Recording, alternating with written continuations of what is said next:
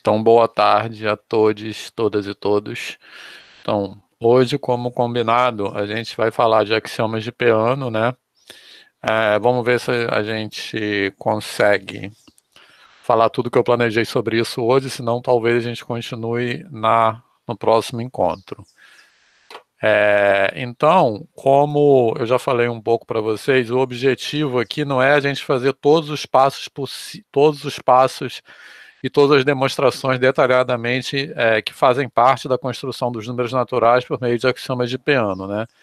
Mas é, é quer dizer, um dos objetivos é destacar alguma, é, é olhar essa construção panoramicamente, né, globalmente, destacar alguns pontos importantes e também algumas preliminares, né? O que, é que eu quero dizer com preliminares? E essa, é, isso que eu que, que eu vou falar agora como preliminares tem muito a ver com essa ideia que eu tenho falado bastante de matemática problematizada, né?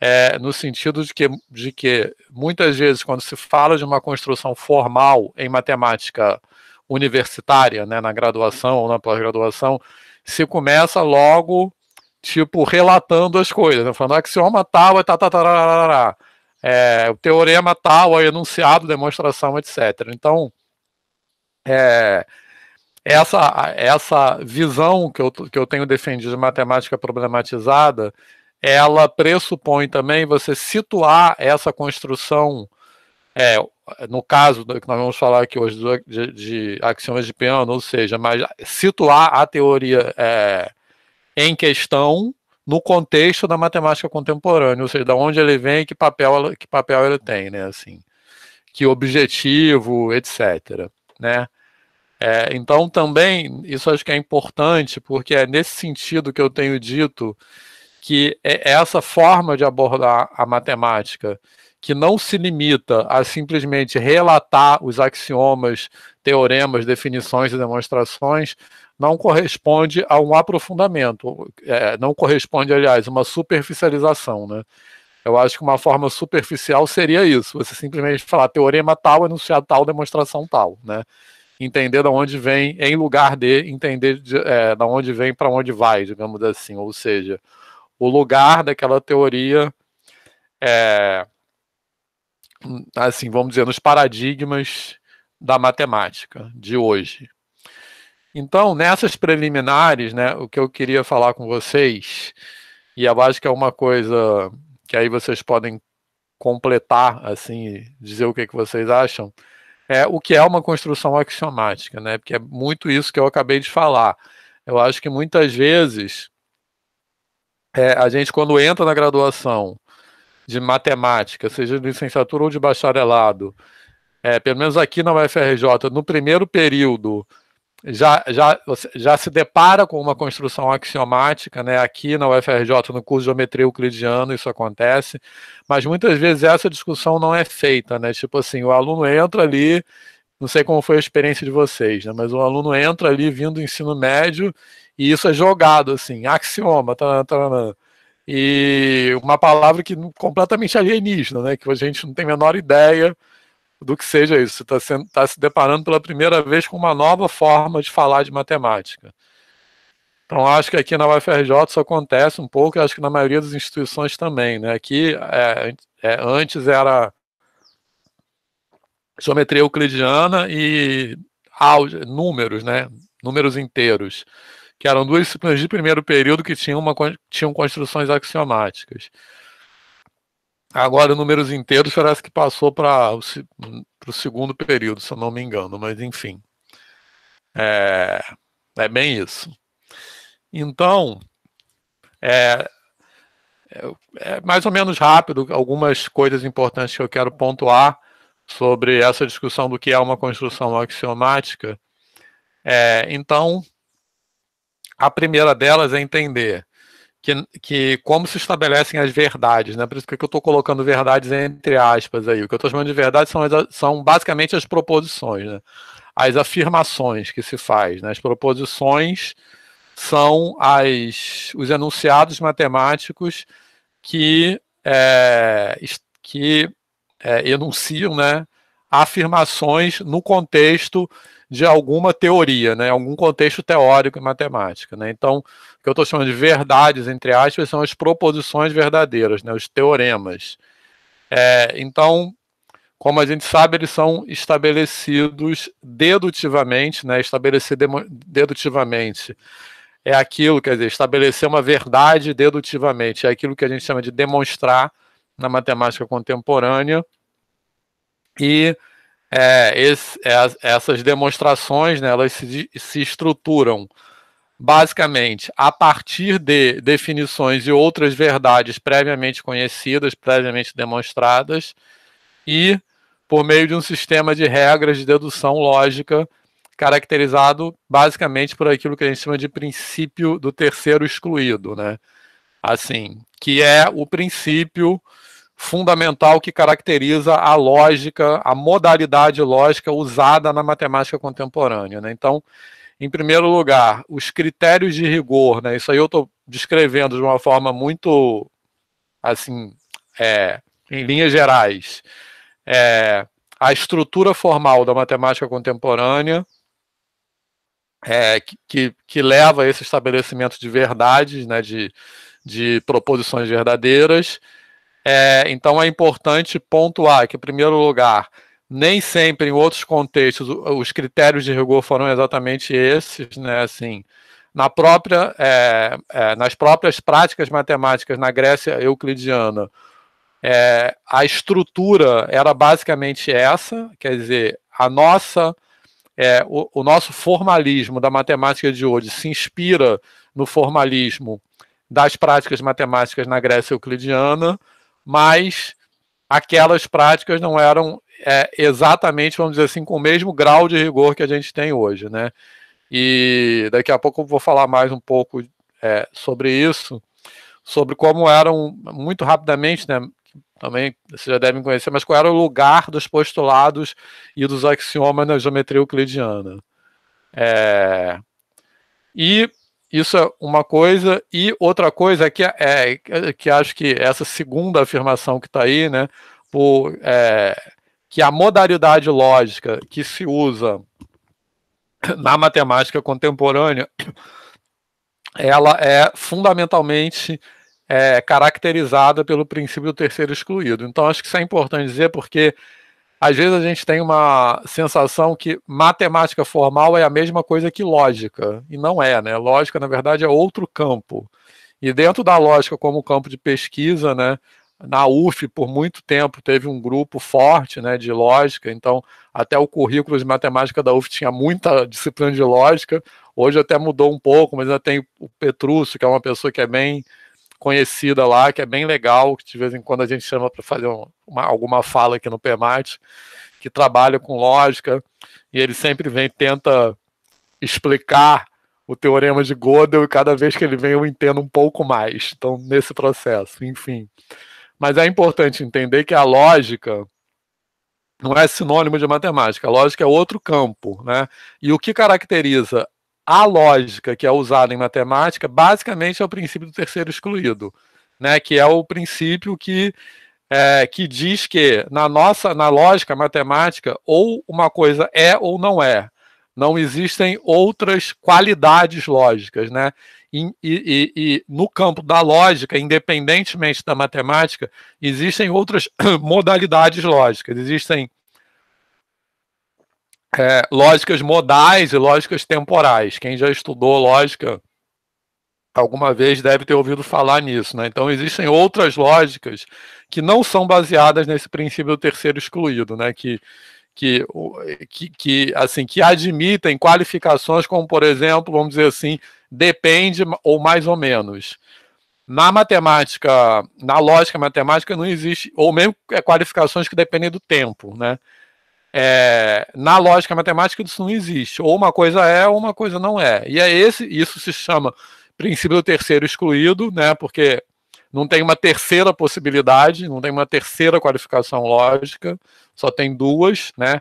É uma lógica binária, e é isso que, que determina a estrutura das demonstrações que nós fazemos na matemática contemporânea, em particular o fato de que é, quando nós demonstramos que algo, que uma proposição é verdadeira, nós precisamos fazer uma, uma argumentação, uma demonstração, quer dizer, a argumentação é uma demonstração, e quando nós queremos mostrar que uma afirmação é falsa, a argumentação é um contra-exemplo, né? Assim, justamente por isso, porque é, se aquela proposição deixa de valer em um caso, então ela é falsa. Isso é uma consequência do princípio do terceiro excluído.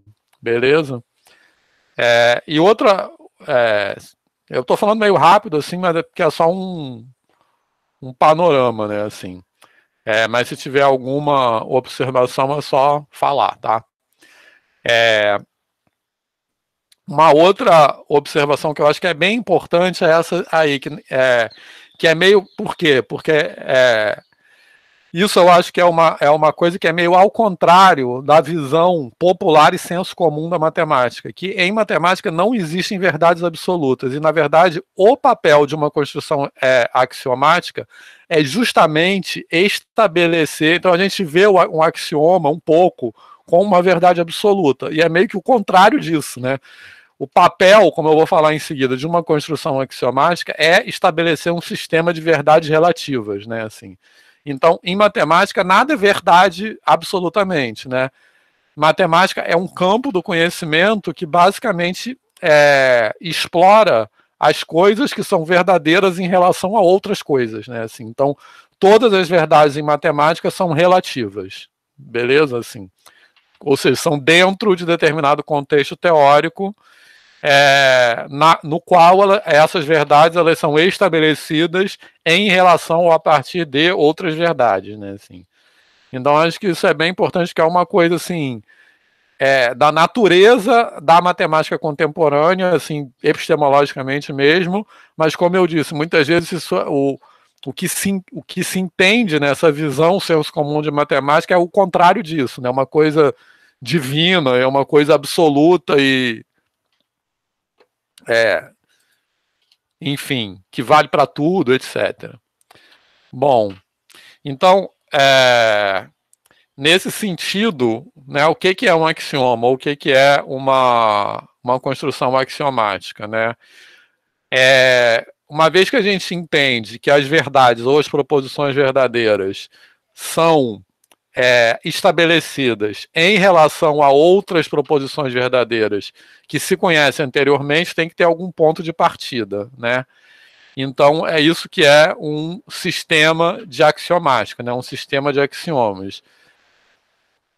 Ele estabelece é, aquele, aquele conjunto de proposições que são assumidas como verdadeiras sem demonstração é, e a partir das quais as outras começam a ser demonstradas. Então, é, é, nesse sentido que eu falei anteriormente, que um sistema de, de, axiomas ele estabelece uma referência, que eu vou falar isso também está na, na, na slide em seguida, mas ele esta, estabelece basicamente um sistema de axiomas é isso, né? É uma referência para um sistema, uma estrutura de verdades relativas. Né? É, então, é, quando se estabelece um sistema de axiomas, o que as proposições que são enunciadas e que têm a veracidade demonstrada a partir daí é em relação a que eles são em relação àquele sistema, né?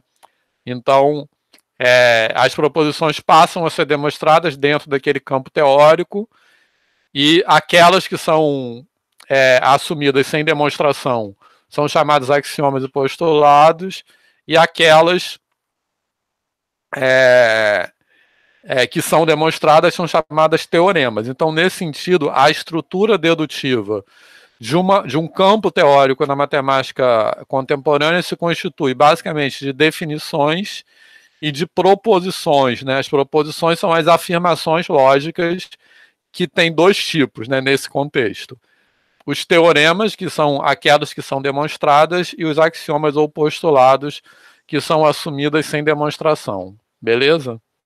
Então, basicamente é isso. É, bom, então, nesse sentido, a gente entende como teorema, né? é uma dentro de um campo teórico uma proposição que é demonstrada. E aí são usados alguns algumas vamos dizer assim gradações dessa palavra, né? Assim, é, por exemplo, sobretudo lema e corolário, né? Mas é importante entender que essas gradações elas não constituem uma diferença no sentido da estrutura lógica, né? Elas são basicamente figuras de linguagem de ênfase, né? Então, é, no, normalmente se chama é, como um recurso, como eu disse, de ênfase, né? E é um recurso estilístico mesmo dentro da escrita matemática se chama de teorema aquela proposição que tem maior importância ou a qual é atribuída maior importância dentro de um campo teórico. Né? E lema é uma, uma se entende como uma proposição mais auxiliar que serve como antecedente ou suporte né, para demonstrar as principais, e corolário uma consequência daquelas que são entendidas como principais. Beleza? Certo? Então, Tipo assim, lógica, no sentido da estrutura lógica, não tem diferença entre é, essas palavras, né? Lema, teorema, proposição, corolário, beleza?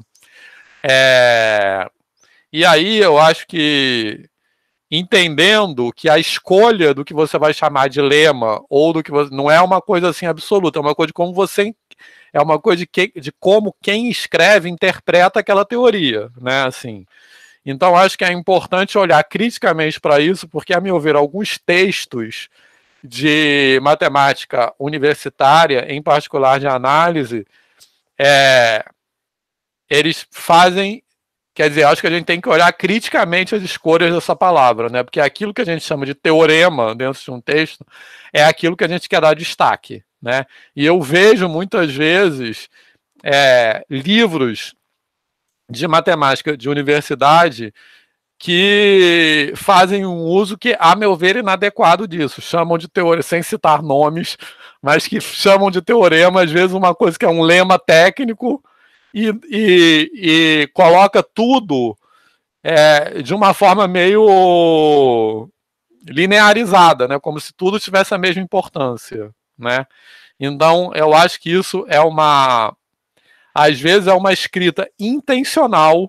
Eu acho que eu acho que alguns autores fazem isso de propósito para esconder o jogo. E alguns fazem sem querer mesmo. Mas, de qualquer forma, eu só estou falando isso que eu acho que é importante, que como a gente reconhece que isso é um, um, um recurso de escrita matemática, olhar para essa escrita criticamente, né? Assim. Beleza? É, algum comentário sobre isso? Todo mundo. Gabriel. uma pergunta. É, axioma e postulado tem alguma diferença ou são palavras sinônimas? Então, isso que eu ia falar agora. Mas, então, a gente vai entender como não. No campo da lógica, tem uma diferença que eu não sei bem qual é, porque eu não, assim, não conheço nada assim, de lógica além da lógica matemática. Tudo que eu sei de lógica é o que eu falei aqui que é que a, a lógica matemática não é única, né? Assim. Mas dentro do campo da lógica tem uma distinção sim que eu não sei qual é. Na geometria, a gente vai entender aqui como sinônimo, entendeu? É, e na, por exemplo, na geometria grega, na, na geometria euclidiana, na matemática euclidiana, tinha uma, teo, te, tinha uma diferença. Não sei se todo mundo aqui é, já estudou é, é, geometria euclidiana, sim, ou geometria não euclidiana, mas na formulação é, inicial do, do, da geometria euclidiana pelo, pelo, por Euclides, né, essa, no livro de Euclides, né, essa formulação tinha cinco proposições que ele chamava de axiomas e cinco proposições que ele chamava de postulados. Então, naquele contexto, tinha diferença assim. Os, o que ele chamava de axiomas eram coisas mais genéricas. E aí que eu, é, é, que eu, como eu falei agora há pouco, que eu quero chamar atenção para essa diferença de grau de rigor entre a geometria, quer dizer, que embora a, o nosso rigor na matemática contemporânea ele tenha sido fundado nas práticas matemáticas euclidianas e se inspire nelas, né, basicamente tem a estrutura delas, ainda assim existe uma diferença de grau de rigor, né? Por quê? Isso é um exemplo que, que ilustra isso. Porque aquilo que no livro Elementos de Euclides é chamado esses cinco axiomas são coisas mais assim é, genéricas que os cinco postulados. Então, por exemplo, é, dentre os axiomas está que o todo é maior do que a parte. Eu não sei de cor quais são os cinco, mas são coisas assim. Né? São coisas meio é, que são entendidas como coisas é, razoáveis do pensamento humano e que tem um papel geral na, na matemática. Então, é como se fossem axiomas. É, esses axiomas são, são como, se, so, como se fossem proposições que são assumidas como verdadeiras, porque elas são entendidas como muito razoáveis para o pensamento e são assumidas na matemática de forma mais genérica. Enquanto o que Euclides chama de postulados são coisas mais específicas para aquele campo, né? Então, por exemplo, é, os cinco postulados de Euclides são: você pode prolongar uma reta, né? O que ele chama de reta, no caso, é o que a gente chamaria hoje de segmento de reta, né? Então, você pode prolongar uma reta indefinidamente, é um postulado, ou você pode traçar um círculo com qualquer centro, qualquer raio, é um postulado, e o famosíssimo postulado das paralelas, né? Que deu é, posteriormente origem a geometrias não euclidianas. Então, para Euclides, os postulados são coisas que dizem respeito especificamente àquele campo, né, que no caso é a geometria plana, que ele está tentando descrever axiomaticamente ali. Beleza? E o que ele, o que ele chamava de axiomas, né, esses cinco axiomas, que até ele chama de axiomas ou noções comuns, né, que expressam isso. Noções comuns são coisas que, tipo assim, como se fosse qualquer é, mente razoável aceitaria aquilo. Hoje em dia a gente não chamaria isso de axioma, né? Porque é, são justamente coisas que são aceitas a partir do senso comum, né? E muitas vezes uma construção é, é, matemática, na matemática contemporânea, se opõe ao senso comum. Né? Então, por exemplo, é, essa afirmação, o todo é maior do que a parte, quando a gente fala de cardinalidades infinitas, a gente vê que não é bem assim. Quer dizer, que tem que isso é relativizado, né? Porque quem quer dizer maior, né? Assim. Então, no sentido é, das cardinalidades, como a gente vai estudar em breve, no sentido das cardinalidades infinitas, é, o todo pode ter o mesmo tamanho da parte, né? No sentido que um conjunto infinito pode ter a mesma cardinalidade de um conjunto, de um subconjunto estrito dele, né? Estritamente contido. Beleza? Né? Então, enfim. Mas para a gente, a gente vai, quer dizer, eu vou usar aqui a palavra axioma e vou entender como sinônimos nesse, no nosso contexto. Né? Em geral, em matemática, na matemática hoje se entende como sinônimo mesmo. Fala, Luciana. Boa tarde. Nesse caso da geometria específica, a definição de reta, plano, ponto, tá onde? Nos axiomas, né? Ou não? É, então, não. Na verdade, a definição é o que a gente que eu vou falar daqui a pouco, né? Na verdade, a defini... eu vou falar daqui a pouco em relação aos axiomas de piano. É, reta e ponto na geometria euclidiana são, são conceitos sem definição, né? São conceitos primitivos. E não vou dar spoiler, mas nos axiomas de Peano também tem conceitos primitivos, né? Que são conceitos que que eles são, assim como os axiomas são colocados sem demonstração, são conceitos são colocados sem definição, porque é a mesma coisa, uma definição depende da outra. Então tem que começar de algum lugar. Então, vamos dizer assim, é, os, vamos dizer, o significado daqueles conceitos, eles são, eles, ele é delimitado pela própria construção axiomática. Né? Então, ponto e reta na geometria euclidiana tem esse papel. São coisas, são conceitos sobre os quais aqueles axiomas falam, né? eles falam sobre pontos e retas, mas que são assumidos sem definição. Então, as propriedades desses conceitos vão sendo estabelecidas ao longo da própria construção axiomática. Beleza? Tanto que em geometrias não euclidianas, né, até hoje, ponto e reta também são conceitos primitivos, né, que a gente chama sem definição. Mas dependendo da geometria que a gente está, a reta vai ser outra coisa. Né? Então, por na geometria, em geometrias elípticas, na superfície de uma esfera, a reta é a, a reta naquele lugar, né? que são os círculos mar. Na geometria hiperbólica também, reta é outra coisa. A gente pode ter geometrias finitas também, né? na qual as retas são conjuntos finitos de pontos, né? E até tem um esquema de você fazer dualidade, que você troca o que você chama de ponto por reto, que chama de reta por ponto. Aí você tem outra geometria dual daquela, enfim. Não vamos. É, a gente não vai, obviamente, se aprofundar muito nisso, mas é, é só para entender que, que. Vanessa, já vou te chamar, tá?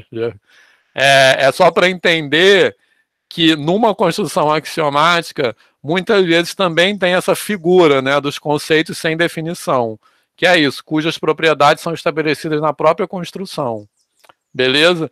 E, e em construções diferentes, os mesmos termos podem ter outras propriedades, né, como é o caso das geometrias não euclidianas. Deixa eu ver se tem. Vanessa. É, boa tarde. É, assim, professor, é, aí você falou dos elementos de Euclides, né? Os elementos, o Euclides, ele foi um matemático que fez uma estrutura, né? Essa estrutura de axiomas, né? essas noções, os postulados. É, na história da matemática, antes dele, nenhum matemático tinha. Ele foi Não. o primeiro a fazer essa espécie de organização, né? Não, não que se tenha notícia. Até onde as fontes, nós sabemos a partir das fontes é, historiográficas, essa estrutura formal, como eu falei, na qual a matemática é, é que funda né, um paradigma para a matemática contemporânea, embora, como eu falei agora há pouco, tenha diferenças de grau de rigor, ela é inventada na Grécia. Entendeu? Então, e o Euclides, né? Quer dizer, na verdade, muita, muitas coisas se perderam, né? Mas o Euclides, é, o, o, o livro da obra dele, Os Elementos, né? É um compêndio, sobretudo, né? Então ele ele faz meio que um, um estado da arte, né? Digamos assim, da, da matemática naquele momento. Então, por exemplo, o Eudoxo, né?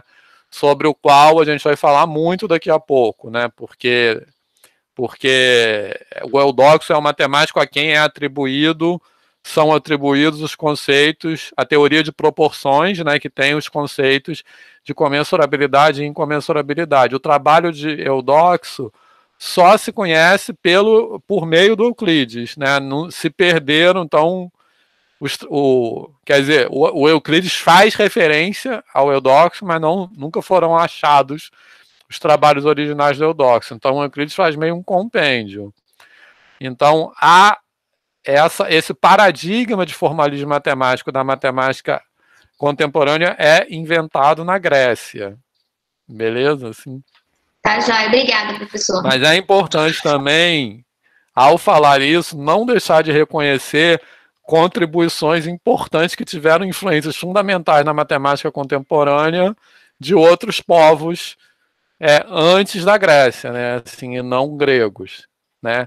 Então, essa, ou seja, essa constatação de que o nosso paradigma de, for, de formalismo foi inventado na Grécia não deve é, incorrer numa idealização da matemática grega como o berço da cultura da humanidade, porque essa, essa suposição é falsa, né? Assim, é, e, e, aí tem aquela questão toda de colonialidade, né? Que até eu, aí eu recomendo o livro da Tatiana para que fala sobre isso, que é esse mito da, da idealização da matemática grega foi construído durante o Renascimento na Europa para tipo assim como um é, construir uma versão da história segundo a qual a Europa é o suprassumo e o berço da cultura da humanidade, né? Assim. Então, é importante reconhecer isso. Mas é, a resposta à sua pergunta é sim, em resumo. Marcela. É, boa tarde a todos. É porque eu me empolgo, Vitor, porque essa é a minha linha de pesquisa, né? Uhum. Então, só para complementar, é, Vanessa, a primeira tentativa de organização de pensamento mesmo foi em torno de século V antes da nossa era, que, que bate também com uma é, iniciação às leis do direito. Então, uhum. é, é, aconteceu mais ou menos na mesma época, e, e não é à toa que Pitágoras, para alguns historiadores, é considerado um, o primeiro filósofo também. Então, a gente, é, essa organização também a gente traz muito da filosofia. E ah. da, o direito também teve esse início desse tipo de organização de leis, e aí bateu uhum. um com o outro. Isso, então. Obrigado, Marcelo. Obrigada, Marcelo. O, então, o Euclides é no século III antes da Era Comum, né? E o, o Pitágoras é no século V, quer dizer, a escola pitagórica, né? No século V, século VI, por aí. Mas então, é, é, isso aí de qualquer forma nasce naquela cultura grega ali. Né? E como eu falei, o Euclides ele, ele é reconhecido por sistematizar coisas que já existiam antes.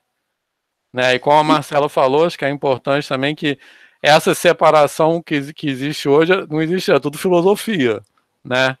Na época. E tanto que na própria UFRJ, é, as diferentes faculdades, né? Que tem hoje das ciências básicas, né? Matemática, física, química, história, letras e etc na, antes, na, quando a UFRJ antes era a Universidade do Brasil, isso era a Faculdade Nacional de Filosofia. Assim como tinha a Faculdade de Medicina, a Faculdade de Direito, tinha a Faculdade Nacional de Filosofia, FNFI, que com a reformulação universitária deu origem ao Instituto de Matemática, Química, Física, História, Letras, essas ciências, essas áreas básicas, né? Assim. Beleza? Uma coisa que me ocorreu também, Vitor, hum. agora, é que a Grécia antigamente era um monte de lugar, né? É. Era, um, era abrangia um território imenso, então... Isso. Era um país como a gente entende hoje. Exato. Aí teria que perguntar para um historiador, não vou... O Alexandre está falando aí da Escola Politécnica. Mas eram diferentes cidades-estados, né? Mas eu acho que tinha, de alguma forma, uma identificação cultural, não sei é, inclusive pegava lugares fora da, da na, no norte da África, né, no Oriente Exato. Médio, que então, eram. Sentido, é, mas não era um país no sentido que a gente entende hoje. É, que é tudo veio daquele lugar geográfico razoavelmente é. pequeno que a gente entende hoje, né? Já Isso. tinha é. influência. E que, embora, e que embora não fosse um país, tinha, uma, tinha afinidades linguísticas e culturais, né? Assim, aí não sei bem responder se falava exatamente a mesma língua ou não né, a Marcela estava falando, Alexandria, né, que era uma cidade importante, ficava no outro lado do Mediterrâneo. Né? E, é, enfim, é isso. Mas aí a gente tem que perguntar para um historiador para falar direitinho. Mas é mais ou menos isso. É, peraí. Bom, então isso aí basicamente eu já falei. Então, o que é um sistema de axiomas? É basicamente pode ser entendido como o estabelecimento de uma referência para a gente falar verdade relativa, beleza? Certo? A partir da qual nós vamos falar verdades relativas. E é, isso aí também é importante dizer que está no último parágrafo desse slide, que também é uma visão que muitas vezes vai contra o senso comum que se tem de matemática, que um sistema de axiomas eles não, ele não, isso vale muito obviamente para o caso dos axiomas de Peano, mas também para os axiomas de Euclides, né? Que ele não inventa ideias matemáticas, ele tenta capturar ideias que já são familiares, né? Então ele tenta capturar formalmente ideias que com as quais as pessoas já vêm trabalhando. Então isso é muito evidente nos axiomas de Peano, porque eles são do final do século XIX, né? E, e ele, então eles não inventam os números naturais. É óbvio que já se trabalhava com números naturais muito antes disso. Então eles tentam propor uma descrição formal para os números naturais, né? Que vai permitir a gente falar dessas verdades relativas, ou seja, das proposições sobre que, é, que, fala, que fazem afirmações sobre os números naturais. Beleza? Inclusive, é, não só isso, mas o próprio conceito de conjunto é muito mais recente que o conceito de número, embora hoje a gente tenha dificuldade de pensar em número sem pensar em conjunto numérico. Mas já se falava de número, né, no aritmos, na matemática é, grega mesmo, né, a palavra aritmos, que quer dizer número, arifimos, é, e conjunto é mais ou menos dessa época também, no final do século XIX, começo do século XX, que é uma época caracterizada por essa, esse movimento de formalização da matemática, cujo expoente reconhecido, o Alisson está falando, Cantor, um expoente reconhecido como mais assim importante, talvez, é o grupo Bourbaki, né? que era um grupo de matemáticos que adotou um pseudônimo, né, que é o Bourbaki, para escrever livros que procuravam formalizar diversas áreas da matemática. É, Vanessa. Professor, então só uma dúvida. Então, assim como Euclides, o Peano também fez um compêndio sobre os números? Ele não, reuniu? Não, não, não porque eu estou comparando, assim, nesse caso específico, o, é, o sistema de axiomática de Euclides, ele também não inventa a geometria. É isso que eu quero dizer. Assim como o sistema, ele fala de uma geometria que já era praticada antes, entendeu? O trabalho do Peano é especificamente sobre números. O trabalho, os elementos de Euclides, eles não pegam só geometria, né? Ele tem outro, inclusive tem é, teorema de números também no no é, nos elementos. Então, eu estou falando que os elementos eram um compêndio. Mas nesse sentido não tem comparação, não, tá? Com o trabalho. Os elementos de Euclides era meio, como eu falei, um estado da arte da matemática daquela época. Era meio isso, assim. Beleza? Entendi. Beleza, entendi. Obrigada. Bom, então, na matemática contemporânea, um. Isso aí, tudo que eu estou colocando, basicamente tem no livro, tá? Também é, são características desejáveis para um sistema de axiomas, né? Que são três que eu vou colocar, que é ser mínimo no sentido é, de que sejam incluídas é, como axiomas é, a, o mínimo de proposições necessárias, é, quer dizer, que na verdade não sejam incluídas proposições que sejam demonstradas como teoremas, tá beleza? Certo? É... Então é mínimo nesse sentido, né? Colocar é mínimo no sentido de não ser é, é, de ser o, o, a menor quanti, quantidade possível de proposições a partir das quais você pode demonstrar tudo dentro daquela teoria, né? É, e depois é, ser suficiente, né, no sentido de que além de ser mínimo, é, tem que ser, ele tem que ser é, pequeno o suficiente para não ser redundante e grande o suficiente para você conseguir demonstrar tudo que você quer demonstrar. Então, reconhecendo também que quando você escreve um sistema de axiomas, você já tem algo em mente que você quer descrever. Então, mais ou menos, você já sabe o que que você quer, qual é o campo teórico que você quer descrever, né? Então, esse mínimo e suficiente é nesse sentido, né? Que ele tem que ser é, enxuto o suficiente para não ter coisas redundantes, né? Para não ter coisas que, que poderiam ser demonstradas como teoremas e grande o suficiente para ser capaz de demonstrar tudo que você quer. Beleza?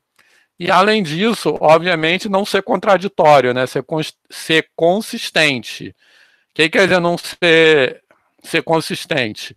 Que ele tem que ser de tal forma que você, a partir daquele conjunto de axiomas, não seja possível demonstrar P e não P ao mesmo tempo. Beleza? Não seja possível demonstrar ao mesmo tempo que algo é verdadeiro que algo é falso. Isso seria é, contraditório. Beleza? Né? Então, consistente é nesse sentido. Tranquilo? Alguma dúvida sobre essas características aí? Só que nem sempre isso é fácil, né? E várias coisas na história da matemática ilustram que nem sempre, eu diria que não só não é fácil, como Gödel nos, nos ensina que é impossível. Mas, mesmo sendo impossível, por isso que eu coloquei, são características desejáveis. Né? Quer dizer, quando a gente tem, quando se tenta é, escrever um sistema de axiomática, é isso aí que, se, que a gente tem em mente, né? Essas características, beleza? Agora, por que, que nem sempre isso é fácil, né? A própria história das geometrias não euclidianas ilustra isso, beleza? Né? É, então, por muito tempo, é, se tentou demonstrar o quinto postulado de Euclides, que é o postulado das paralelas, como teorema a partir dos outros. Beleza? Certo? Então, qual, é, qual era a discussão? A discussão era se os, os outros, os outros é, axiomas é, da geometria é, euclidiana eles seriam suficientes para demonstrar o, o postulado, quer dizer, se o postulado das paralelas era mesmo, tinha mesmo que ser um axioma ou se ele poderia ser um teorema. Tá beleza? Então, por isso que eu falei, nem sempre isso é fácil, porque essa discussão literalmente durou séculos na matemática, né? Beleza? Até que finalmente se conseguiu demonstrar a independência do postulado das paralelas, ou seja, que ele não pode ser provado como teorema a partir dos outros. Então, na geometria euclidiana, ele de fato é um axioma nesse sentido. Ou seja, o conjunto de axiomas mínimo para descrever a geometria euclidiana não pode prescindir do postulado das paralelas.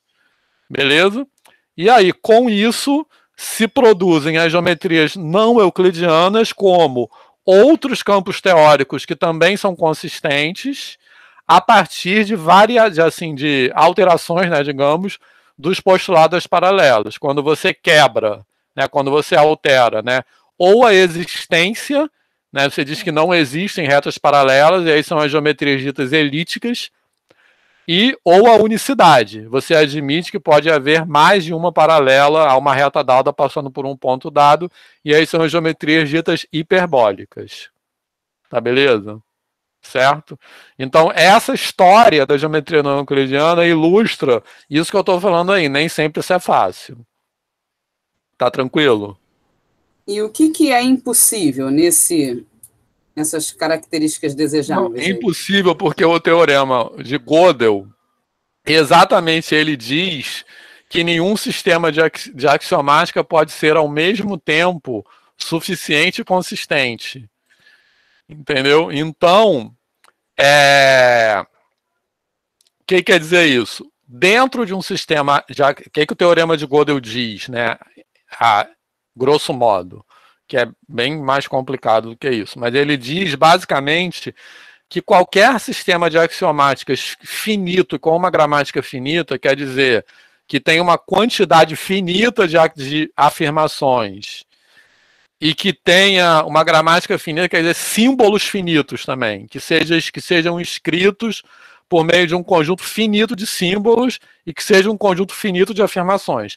Então, qualquer sistema de axiomática com essas características, né, dentro dele, ou vai ter uma proposição que pode ser enunciada naquela gramática e que não possa ser provada, nem que sim, nem que não, ou que possa ser provada que sim e que não ao mesmo tempo. Então, ou ele não é suficiente, nesse sentido que existe pelo menos uma proposição cuja velocidade não pode ser nem provada nem negada, ou ele é inconsistente, no sentido que existe uma proposição que pode ser provada que é, sim e não ao mesmo tempo. Né? É isso basicamente que o teorema de Gödel nos diz.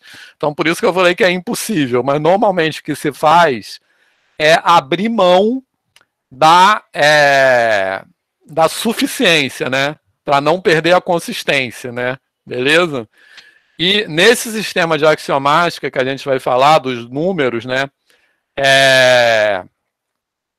já se conhece, aí eu não sei falar qual é, mas já se tem exemplos de proposições que, é, que a gente sabe que não podem ser demonstradas nem que sim, nem que não. Né? Nesse sentido, a teoria de Gödel. Do teorema de Gödel. Né? Beleza? E é interessante também que a demonstração do teorema de Gödel, que eu não sei fazer, estou muito longe de saber fazer, que é bem assim, uma assim, pessoas é uma coisa muito especializada dentro do campo da lógica, mas a demonstração do teorema de Gödel, ela, ela tem uma ideia que é parecida com as demonstrações que a gente faz de cardinalidade. Assim, é, basicamente é, é uma ideia do que de que é assim, a grosso modo, aquilo que pode o conjunto das ideias é maior em cardinalidade do conjunto das ideias que podem ser explicadas. Basicamente, a ideia do, do teorema de Gödel é essa, que eu acho que é uma coisa bem bacana. Sempre você pode dizer uma outra coisa que você não pode explicar logicamente dentro de um sistema de axiomáticas. É isso. Vinícius Linder.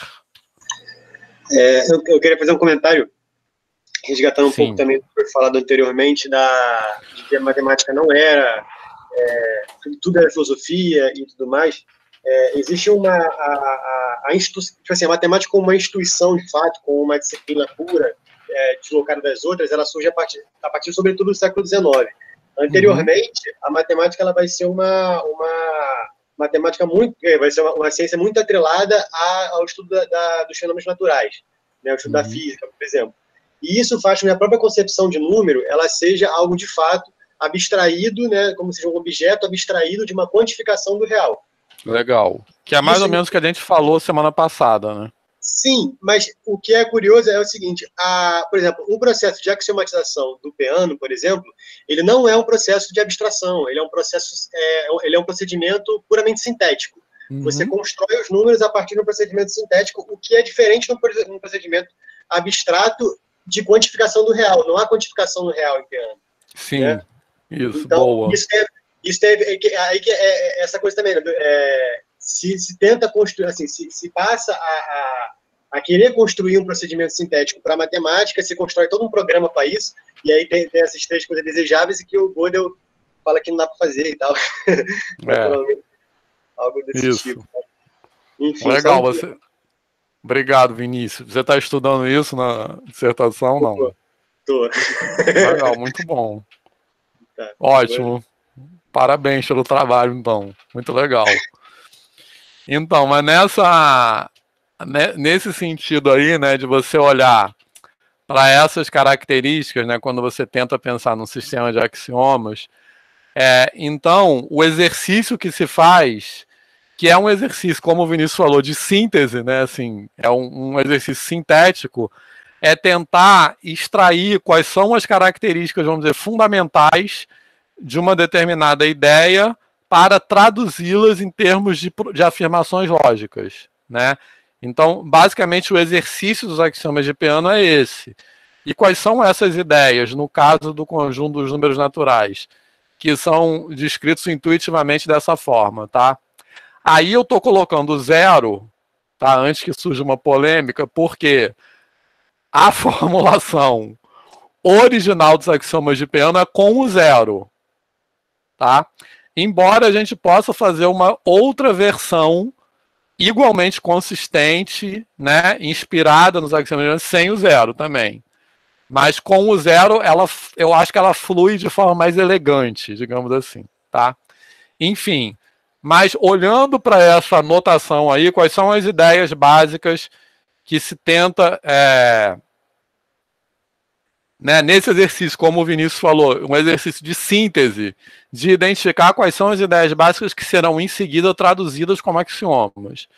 Então, uma ideia é que há um ponto de partida para a construção do conjunto, a partir do qual se toma o sucessor de cada último elemento até então construído. Beleza? Então, qual é esse ponto de partida? No caso, é o zero. Beleza? Então, é, é, é nesse exercício de síntese, de síntese, né, se entende que você começa do zero, aí depois vai pegando, digamos assim, o próximo, próximo, próximo, próximo. Beleza? Sendo que essa palavra próximo, ela só ganha sentido quando a gente mais tarde falar de ordem. Tá legal? Mas vamos pensar na ideia de sucessor. É... Bom, então, outro aspecto, que o processo de tomar o sucessor constrói a cada passo um elemento diferente daqueles até então gerados, então isso aí tem a ver com a infinitude, né, o processo dos números naturais. Então, o processo de tomar do sucessor, a cada passo ele cria um novo elemento, digamos assim. Ele não volta para um elemento anterior. Beleza? Que a gente poderia, pensando abstratamente nessa ideia do que é sucessor, a gente poderia pensar nesse processo de uma forma circular. Né? Beleza? Tipo assim, faz de conta que fossem cinco pontos, por exemplo, dispostos numa. Assim. É, circularmente. Eu poderia pegar no próximo, o próximo e voltar no anterior. Né? Então, a outra ideia que os, os, os axiomas de Peano vão tentar expressar é que a cada passo se produz um novo elemento. Tá beleza? E, finalmente, que o conjunto dos números, e isso, essa propriedade é muito importante, que ela é expressa por aquilo que a gente conhece bastante como princípio da indução finita. É, então, ela é esse processo de começar com um determinado ponto de origem, que é o zero, e tomando sucessor, o sucessor, o sucessor, o sucessor, ela cobre todos os números naturais. Ou seja, não tem nenhum número natural que seja que não seja eventualmente atingido por esse processo de tomar, quer dizer, que não seja atingido, não é nem uma boa palavra, que não seja construído por esse processo de tomar o sucessor. Então, é, os números naturais são aquilo que é construído por esse processo. Tá beleza? Então, basicamente, são essas ideias e que a gente vai, em seguida, tentar expressar formalmente pelos axiomas de Peano. Beleza? Algum comentário sobre isso? Ai, peraí. Até tinha botado um recurso estilístico aqui, que é só para destacar que o sucessor é uma ideia importante. Então, justamente aí no, no, nos axiomas de piano, sucessor que vai ser um termo sem definição. Beleza? E que a ideia de sucessor ela vai ganhando, vai sendo delimitada e ganhando sentido ao longo da própria construção. Tá? Beleza? Enfim, é isso aí, isso aí que eu já falei. Certo? Alguma mais algum comentário sobre isso? Porque agora vamos passar para os axiomas de piano propriamente ditos. É... Certo? Então eu estou colocando isso aí, construção de N como passo 1, construção de M como, como conjunto. E daqui a pouco eu vou explicar o que eu quero dizer com isso tá? Porque esse não é o único passo da construção. A gente quer construir N como algo a mais do que um conjunto, certo? Já vou falar o que, que eu quero dizer com isso. É, bom, então essa aí é uma formulação dos axiomas de Peano. Então, o axioma 1, que eu estou chamando de P1, todo número natural tem um sucessor, que a gente, todo número natural N, tem um sucessor que a gente vai denotar por sigma de n, que também é um número natural. Né? Então, repara que é a, é a formalização daquelas ideias que eu enunciei anteriormente. Números naturais diferentes têm sucessores diferentes. Existe um número natural chamado zero, que não é sucessor de nenhum outro. É, e, finalmente, o princípio da indução finita beleza? Cujo enunciado é: se A é um conjunto de números naturais com as seguintes propriedades, zero pertence a A, e se N é, é um e C, o fato de N ser um elemento de A implica no sucessor de N também ser um elemento de A, então A é o conjunto de todos os números naturais. Beleza? certo? É, bom, então, duas observações importantes. Repara que o termo sucessor, como eu falei aqui, na, nessa enunciação dos axiomas de Peano, ele é um termo primitivo porque ele não tem definição, ele é, ele é algo que constitui o, os próprios enunciados dos axiomas e cujas propriedades serão é, entendidas, digamos assim, ao longo da própria construção, por outro lado. Então, aqui, quando a gente está enunciando isso, a gente precisa pensar na ideia de sucessor abstratamente, no sentido de que a gente não pode entender aqui nem que o sucessor de n é n mais 1, certo? Beleza? Nem que o sucessor de n é o próximo elemento depois de n, tá? Por que, que eu não posso falar isso? Por que, que eu não posso falar que o sucessor de n é n mais 1? O que, que falta para eu falar disso neste momento?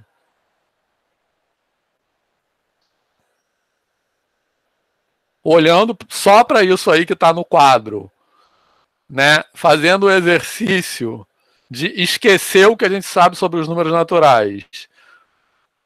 O que que falta para fazer sentido, né? Não estou falando nem ser verdadeiro ou não, mas para fazer sentido essa afirmação. É... O sucessor de n é n mais 1. Né? Ah, a soma, né? A soma. O Pablo colocou ali, Falta né? A ordem e a soma. Isso. No caso aí, falta definir as operações, que eu não sei o que é mais, né? Beleza? Então, como é que eu posso falar que é N mais 1? E a outra afirmação que eu falei é o próximo, depois. É, também não sei o que é próximo, porque para falar o próximo eu preciso saber da ordem. Beleza?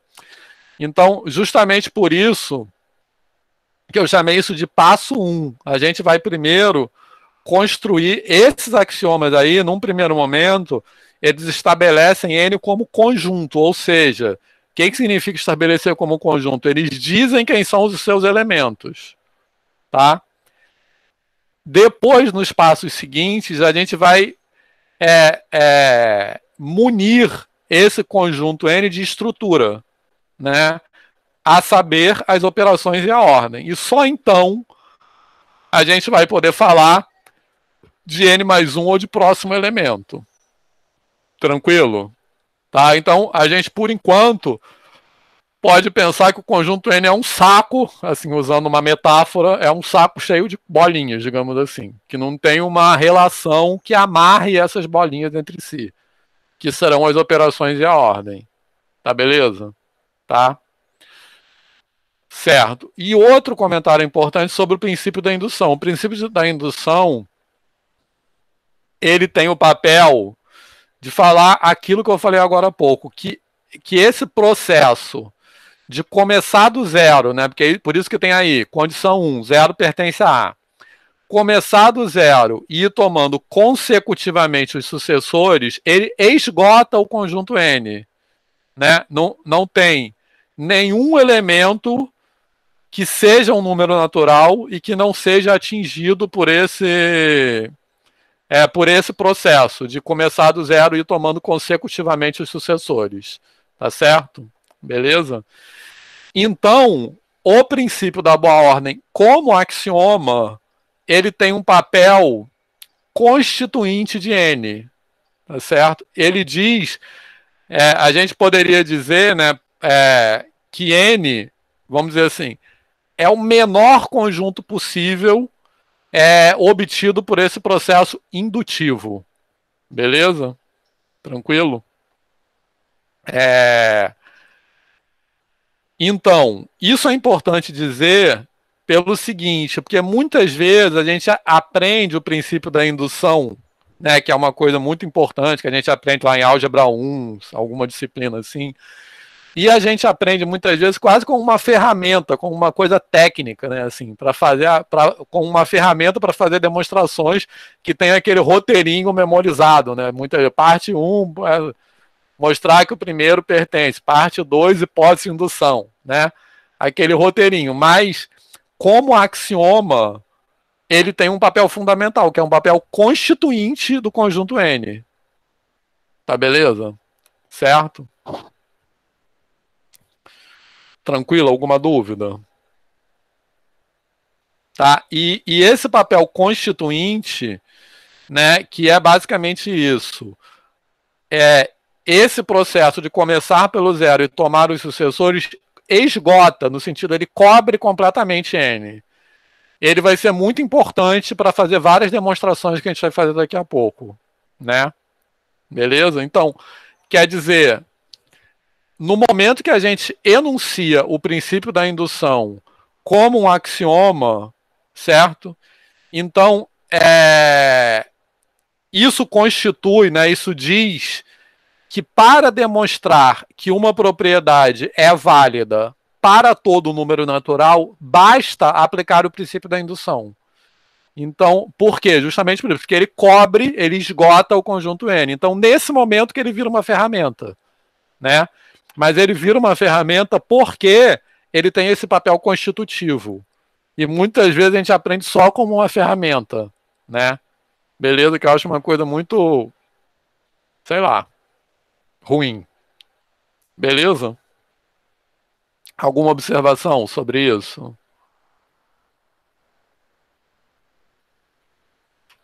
Certo. Bom, então isso é uma redação né, para pro, os axiomas de Peano. Né, existem, na, na verdade, muitas vezes se, é, acho que talvez até a versão mais comum é colocar cinco postulados, porque às vezes se escreve um postulado só para escrever existe um número natural zero, né? E na verdade essa e aí é, um outro postulado para dizer zero não é sucessor de ninguém. Aí nessa versão a gente optou por colocar um postulado P3 só que fala essas duas coisas, tá? Eu coloquei essa versão aí porque é a versão que está no livro, né? Mas existem outras que são só variações de redação mesmo. Uma outra, uma possível, uma forma equivalente de redigir isso é você, a gente pode, se a gente usar linguagem de é, função, a gente pode resumir o, os postulados, os axiomas P1 e P2, né, que são esses aqui. Todo número natural tem um sucessor. Então, todo número natural tem um sucessor, é, que também é um número natural. É, em linguagem de funções, a gente pode expressar isso dizendo que, que sucessor é, pode ser entendido como uma função que tem domínio em N, né? Porque ela está definida em todo número natural e que tem contradomínio em N também. Porque é, o sucessor de N também é um número natural. Então, o contradomínio é N, o que não significa que a imagem é N, né? Que a gente vai ver que não é. Beleza? É, e é, dois números naturais diferentes têm sucessores diferentes. É, é, isso aí nada mais é do que se entender sucessor com uma função. Isso aí nada mais é que dizer que, que essa função é injetiva. Beleza? Então a gente pode é, expressar em linguagem de funções o axioma, os axiomas 1 e 2 dessa forma aí. Tranquilo? É uma função injetiva. E o axioma 3, justamente por isso que eu falei, N é o contradomínio, mas não é a imagem, né? Porque a gente diz que zero não é sucessor de ninguém, então a gente está dizendo que zero não é imagem de ninguém por essa função. Beleza? Então, essa notação aqui, sigma de n, se refere à imagem da função n. Então, no caso, a gente vai dizer que essa função é injetiva, porém não é sobrejetiva, porque pelo menos o elemento zero não pertence à sua imagem. Tá? Tranquilo? Beleza? E a gente sabe e vai demonstrar como teorema daqui a pouco que, na verdade, o zero é o único elemento que não pertence à imagem função. Ou seja, zero é o único número natural que não é sucessor de ninguém. Tá beleza? Certo? É... Então a imagem é n asterisco, né? n menos zero. E o princípio da indução que a gente tem que colocar da mesma forma. Que aí eu só mudei, assim, em linhas gerais, a, também ah, de forma mais resumida a escrita dele, né? Mas é o mesmo enunciado que está lá antes. Então isso é uma maneira alternativa e tem muitas outras maneiras, né, de escrever os axiomas de Peano. É, bom, então, o princípio da indução finita diz, ah, bom, isso aí eu já falei, né, que, mas é uma observação importante. Isso aí também, acho que eu já falei. Beleza? Alguma dúvida ou comentário sobre isso? Certo? Tá tranquilo? Então, em que sentido isso é, constrói o conjunto N, né? Que a gente começa do zero, né? No, no sentido de que nos axiomas de Peano, que como o Vinícius observou muito bem, é um processo de síntese, não de abstração, né? É, e que ele tenta capturar sinteticamente e formalmente aquela ideia que, que se tem de números naturais, mas nos axiomas de Peano, o único número natural que já tem um nome diretamente é o zero, certo? É, que também não pode ser entendido, o zero, então, por enquanto, ele é entendido abstratamente, é uma ideia, tá? É um elemento, só isso. Depois que a gente vai poder falar coisas que a gente sabe sobre zero, por exemplo, que ele é o elemento neutro da adição, etc. Tranquilo? Mas, por enquanto, ele é um elemento e tudo que a gente sabe é, sobre ele é isso, né? É,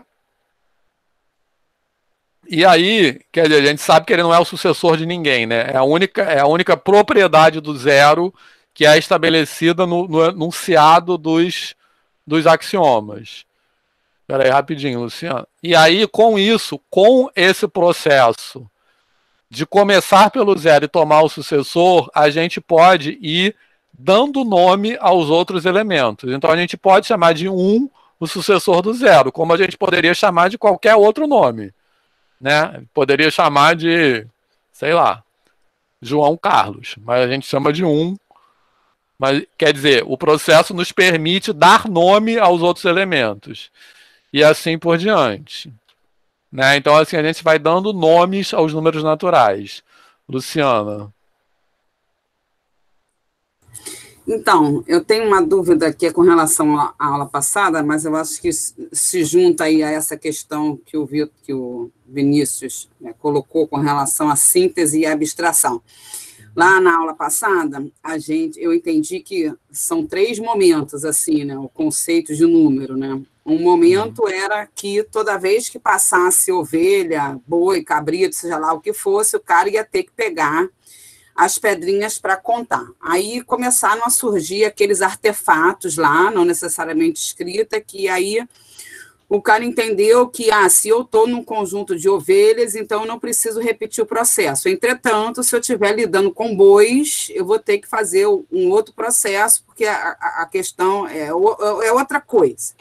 Mas em algum uhum. momento na história da humanidade não foi preciso mais repetir esse processo, sejam ovelhas, bois, cabritos. Aí eu queria saber em que, em que momento que aconteceu isso. É, isso eu não sei responder exatamente em termos históricos. Mas eu acho que a partir da fala do Vinícius, que é importante é que isso que você descreveu até agora é um processo de abstração. Então, aí vem com a pergunta que eu estou colocando agora. Né? Uhum. Não sei, eu, eu andei estudando para uma disciplina lá no Profimate, é, os axiomas de piano, uhum. lendo o Introdução à Filosofia da Matemática. Uhum. E aí ele coloca, de quem? Do Russell. Ah, sim.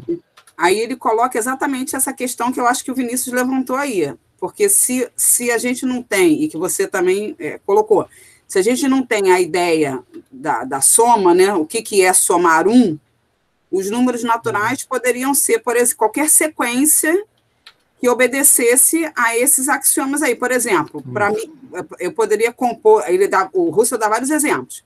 Os números uhum. naturais, para mim, poderiam ser os pares, 2, 4, 6, 8. Que aí o 2 uhum. vai ser o primeiro, aquele que, não, aquele que não é sucessor de ninguém, e uhum. tomar o sucessor significa somar duas unidades.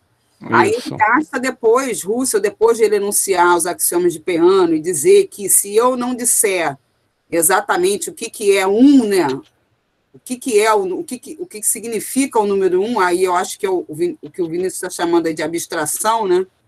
Os números naturais pode ser qualquer sequência de coisas que satisfaçam a uhum. esses axiomas aí. Certo. Quer dizer, aí, é, formalmente, é, o entendimento do que é do que é a quantidade, o número um, né, foi dado por essa, se eu estou entendendo direito, foi dado por essa filosofia da matemática aí, né? Aí a minha pergunta é essa de quando é que na história da matemática esse, esse entendimento foi alcançado. Isso. É, então, essa primeira pergunta eu não sei responder quando esse entendimento foi alcançado, mas é importante entender também que não é num momento só, entendeu? Tipo assim, é... a, a história da matemática unificada é uma coisa muito recente. É tipo assim, do século XIX. Então, por muito tempo, tinha. E na verdade, como tem hoje, né? Assim, tem práticas que, eu, que a gente nem deve chamar de práticas de matemática, mas a gente pode chamar assim, de práticas de quantificação que são diferentes entre si.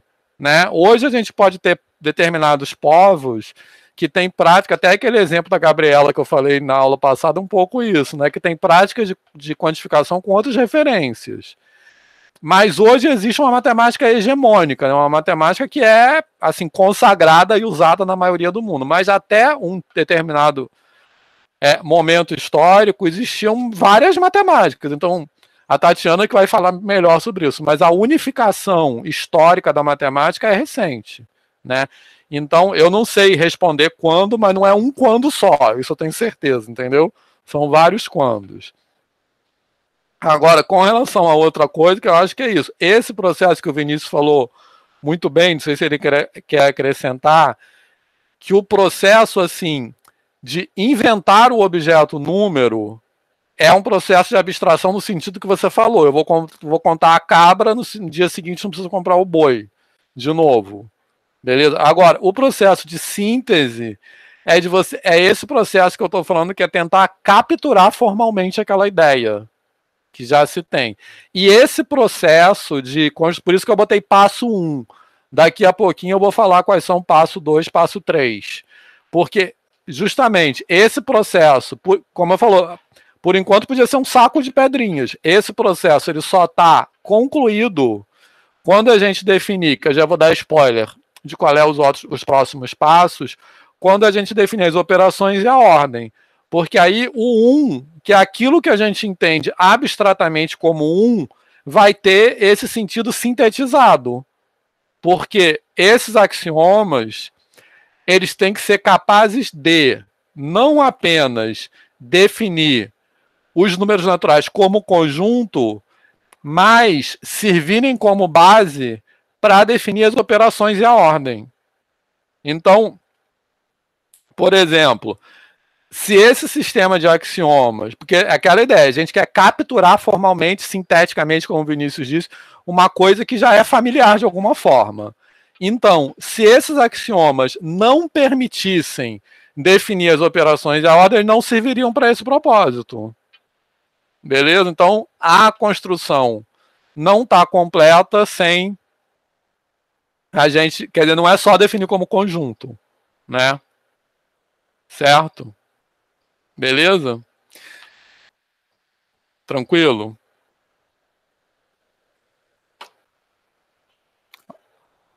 Então é isso aí. É... Alguém quer acrescentar mais alguma coisa? É, Vitor. Vanessa. É, eu só fiquei na dúvida desse processo de unificação que você falou, que foi recente no século XIX. O que, que seria isso? Eu não entendi muito bem de ter uma matemática mais ou menos internacional, entendeu? Que todo mundo, eu não sei dizer exatamente quando, mas de uma matemática que todo mundo entende a mesma notação, a mesma os mesmos nomes para as coisas, entendeu? Isso que eu estou falando que é mais ou menos recente, né? Até então havia um, não era unificado isso, né? Beleza? Beleza, obrigada, Vitor. Tá. É... Alguém quer falar? Vinícius quer falar sobre isso? Não. Não, acho que você falou muito bem. Assim, é, é isso, né? São concepções numéricas totalmente diferentes que tem a ver muito com a, a maneira que a matemática é enxergada na época. Assim. Isso. Assim. Então, é isso, tipo. Isso aqui não é, uma concepção, não é uma concepção intuitiva de número, né? Tipo, eu acho que a é, exatamente isso. Né, uma intuição. Você enxerga dois objetos que são semelhantes, você intui uma. e você abstrai uma, a quantificação daqueles objetos. Então, aqui, isso é abstração, aqui é outra coisa. Isso, é. Aqui o processo de fato não é esse. Né? Uhum. Isso. Não, eu falei só porque eu tive balança na cabeça. que eu não vejo todo mundo aqui, como eu falei, eu não sei escolher quem eu vejo. Eu vejo só oito pessoas. Tem um, tem um. Eu acho que tem uma, uma parada que você. Um plugin do, do, do, Chrome que você consegue ver todo mundo, mas aí eu. É, eu sei. O problema é que eu não estou usando o Chrome, eu estou usando o Mozilla, porque o meu Chrome deu um pau bizarro que não funciona de jeito nenhum. E é, eu já então... fiz de tudo, já reinstalei, não adianta, não funciona. Então eu não posso usar nenhuma dessas extensões aí que tem para Chrome. Entendi, é, então tem jeito. E é um pau bizarro que eu não sei o que, que é mesmo, que ele travou total e não navega nada nele. Enfim. Mas.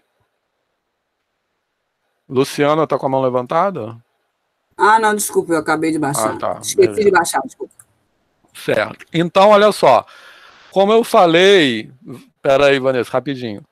Como eu falei, a gente não vai demonstrar tudo nessa construção, tá beleza?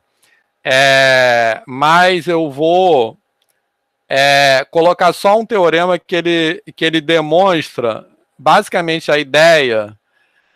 E ele, ele vai usar o princípio da indução finita no seguinte sentido, de que é, qual é o teorema? É esse aqui, mas ele basicamente se baseia intuitivamente nessa ideia que está projetada aí, né?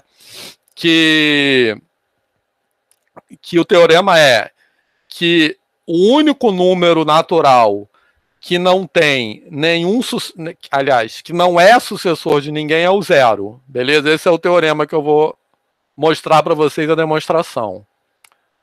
Tranquilo? Esse enunciado aí, que diz isso, né? O único número natural que não é sucessor de ninguém é o zero, né?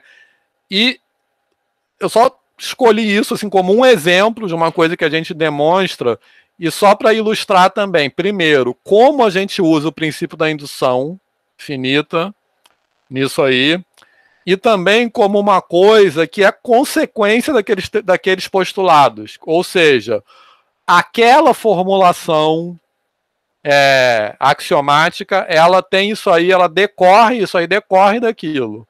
Então, isso aí não precisa ser, ser acrescentado naquela lista. Beleza? Vanessa, quer falar? Desculpa, professor, é que às vezes eu confundo aqui com esse negócio de levantar a mão, não é nada não. Desculpa. Não, tranquilo. Bom, então, a demonstração é essa aqui, ó. A gente vai considerar o seguinte conjunto. Essa demonstração é, é uma demonstração que eu acho, sim, que ela tem uma característica que algumas demonstrações têm, que ela é tão simples que é difícil de entender, digamos assim. Não falei que ela é fácil, repara que a palavra fácil está proibida. A gente vai considerar esse conjunto A, é o conjunto dos números naturais, tais que.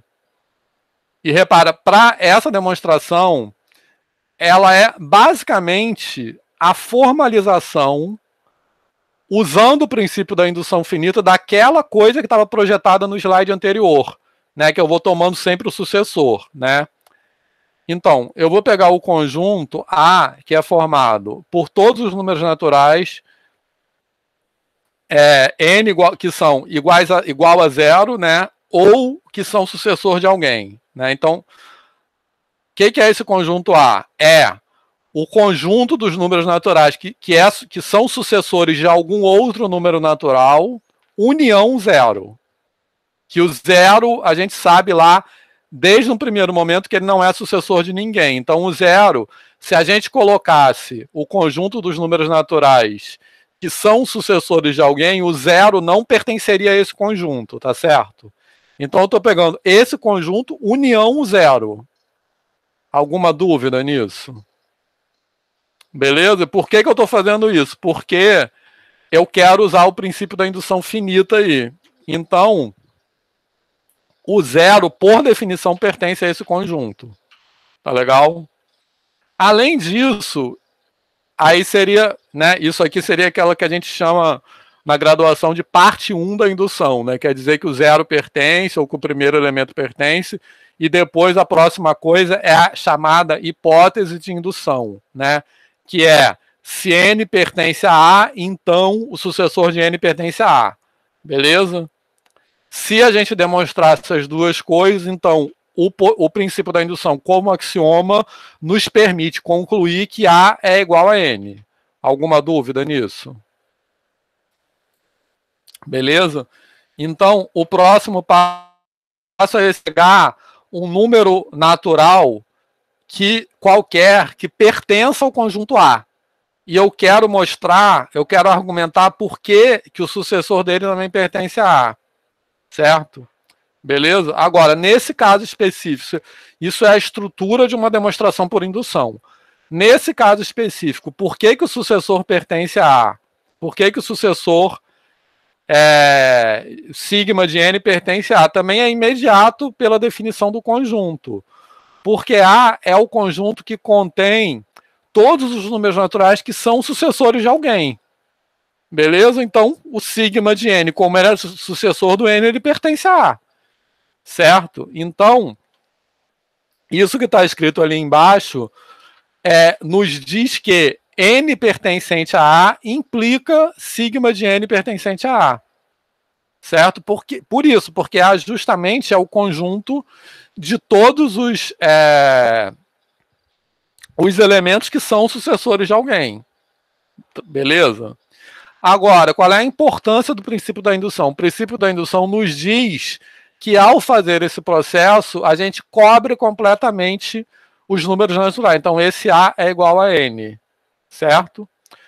Como consequência disso, é, esse conjunto aí contém todos os números naturais, certo? Então, todos os números naturais são sucessores de alguém.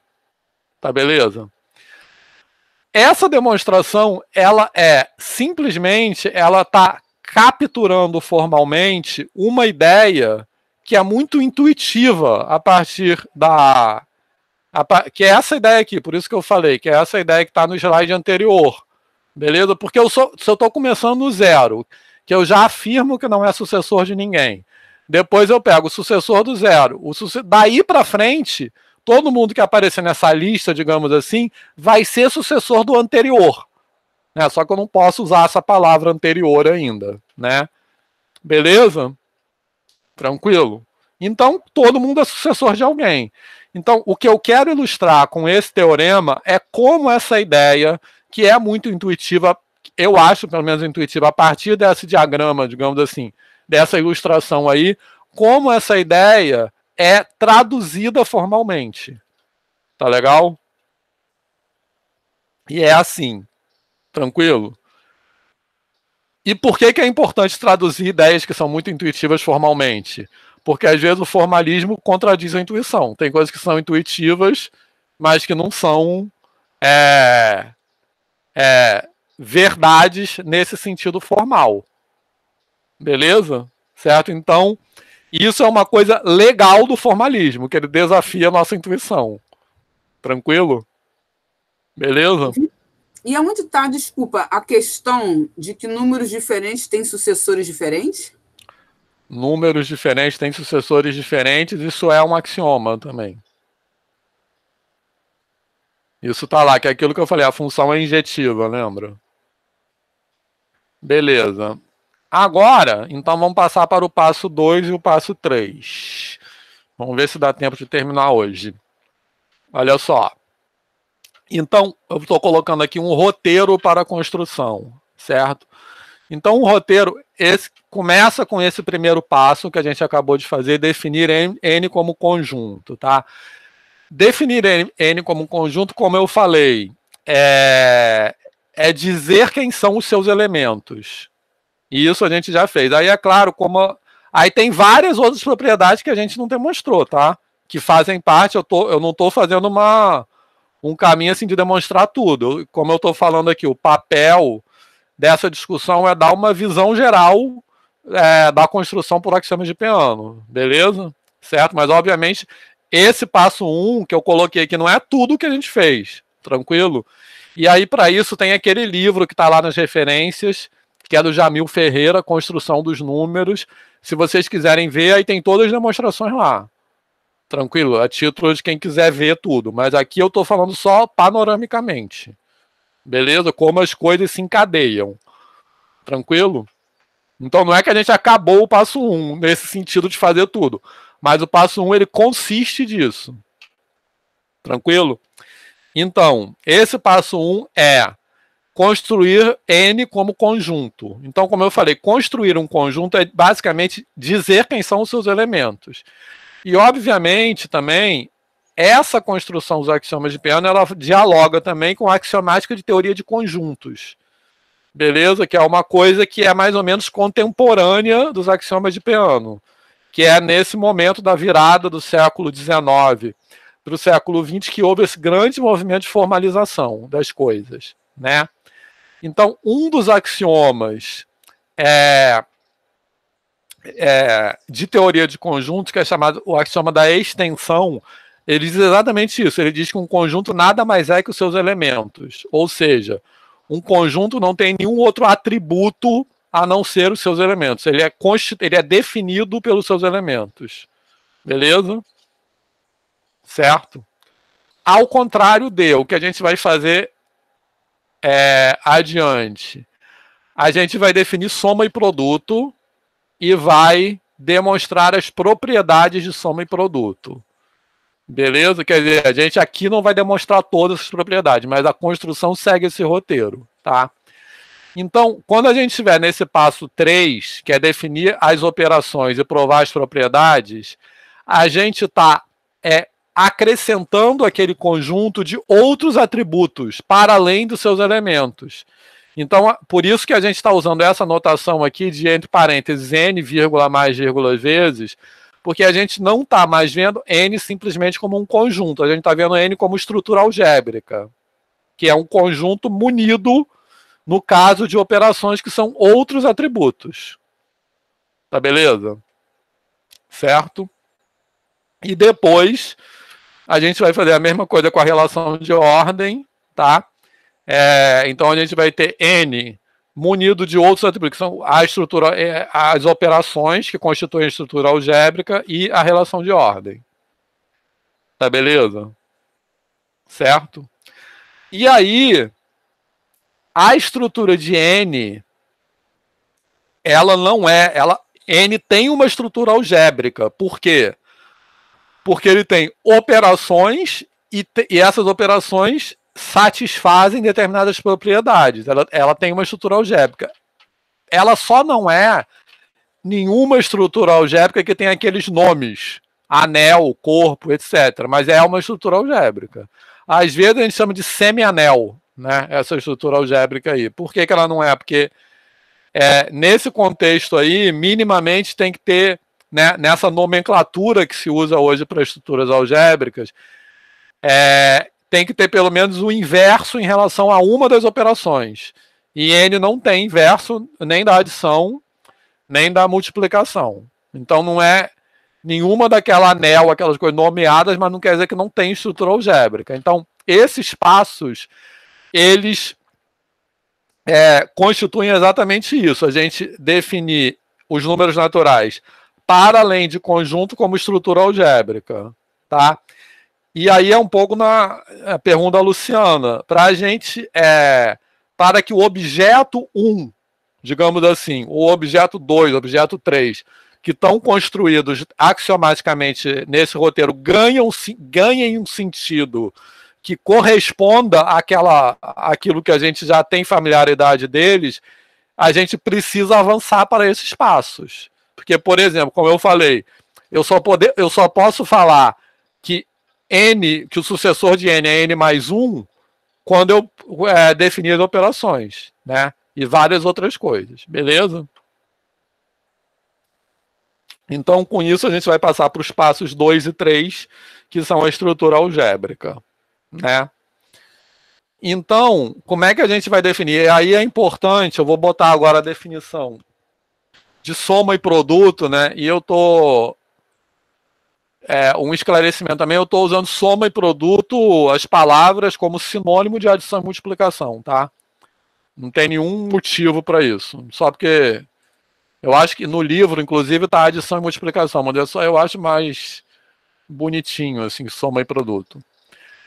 E aí é importante é, prestar atenção agora que é, essas definições, a estrutura dessas definições, elas se baseiam fortemente no princípio da indução, tanto da adição, da soma, quanto do produto. Por quê? Vocês vão ver logo em seguida que eu projetar que a estrutura dessas definições é assim: eu vou. A gente pode pensar nela como um roteiro que ensina a somar. Né? Como que ela ensina a somar? Ela vai dizer, primeiro, quem é a soma de um número natural n qualquer com o zero, beleza? Que é isso aqui.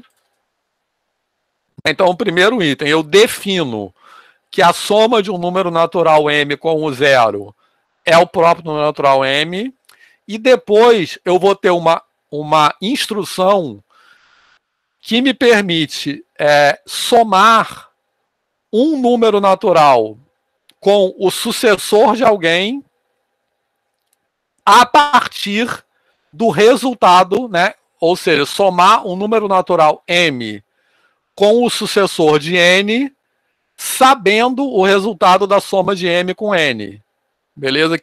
Repara que nesse item 2, ele ensina isso. Ele está dizendo quem é a soma de m com o sucessor de n em função da soma de m com n. Tá beleza? Certo? Então, o que que isso nos possibilita fazer? Ó, isso que eu escrevi é simplesmente o item 1. Tá? Eita, tá errado aí. Depois eu conserto. Vamos consertar logo, peraí.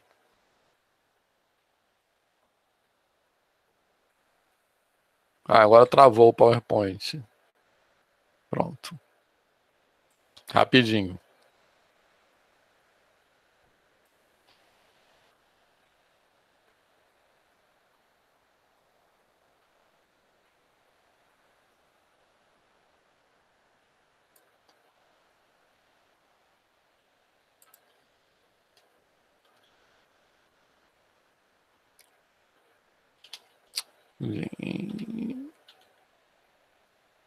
Pronto, senão depois eu esqueço. Beleza? Então, isso que eu estou escrevendo aí é o item 1, como eu falei. Ele nos diz quem é a soma de um número natural qualquer com o zero. Tá legal? Aí, se eu sei somar um número natural qualquer com o zero, o item 2 nos ensina a somar esse número natural qualquer com o sucessor do zero, que é o 1. Beleza? Então, o que, que o item 2 nos diz? É a soma de m mais 1, né, e 1 é o sucessor do zero, né, que eu acabei de dar esse nome ao sucessor do zero, né? Então, o item 2 nos diz que m mais sigma de zero é sigma de m mais zero. Agora, esse M mais zero que está entre parênteses ali na segunda linha, na linha de cima eu já estou dizendo quem é, que é o próprio M. Beleza?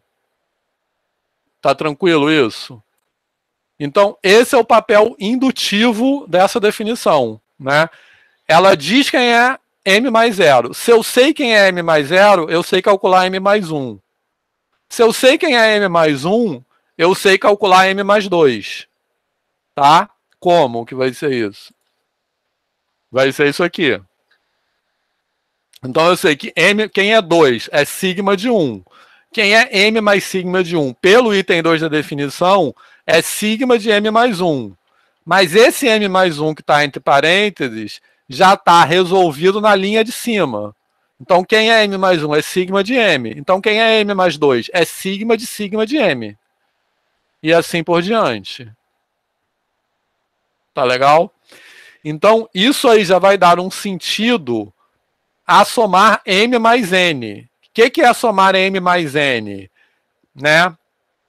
E assim por diante. O que, que é somar M mais M? Segundo é, essa definição.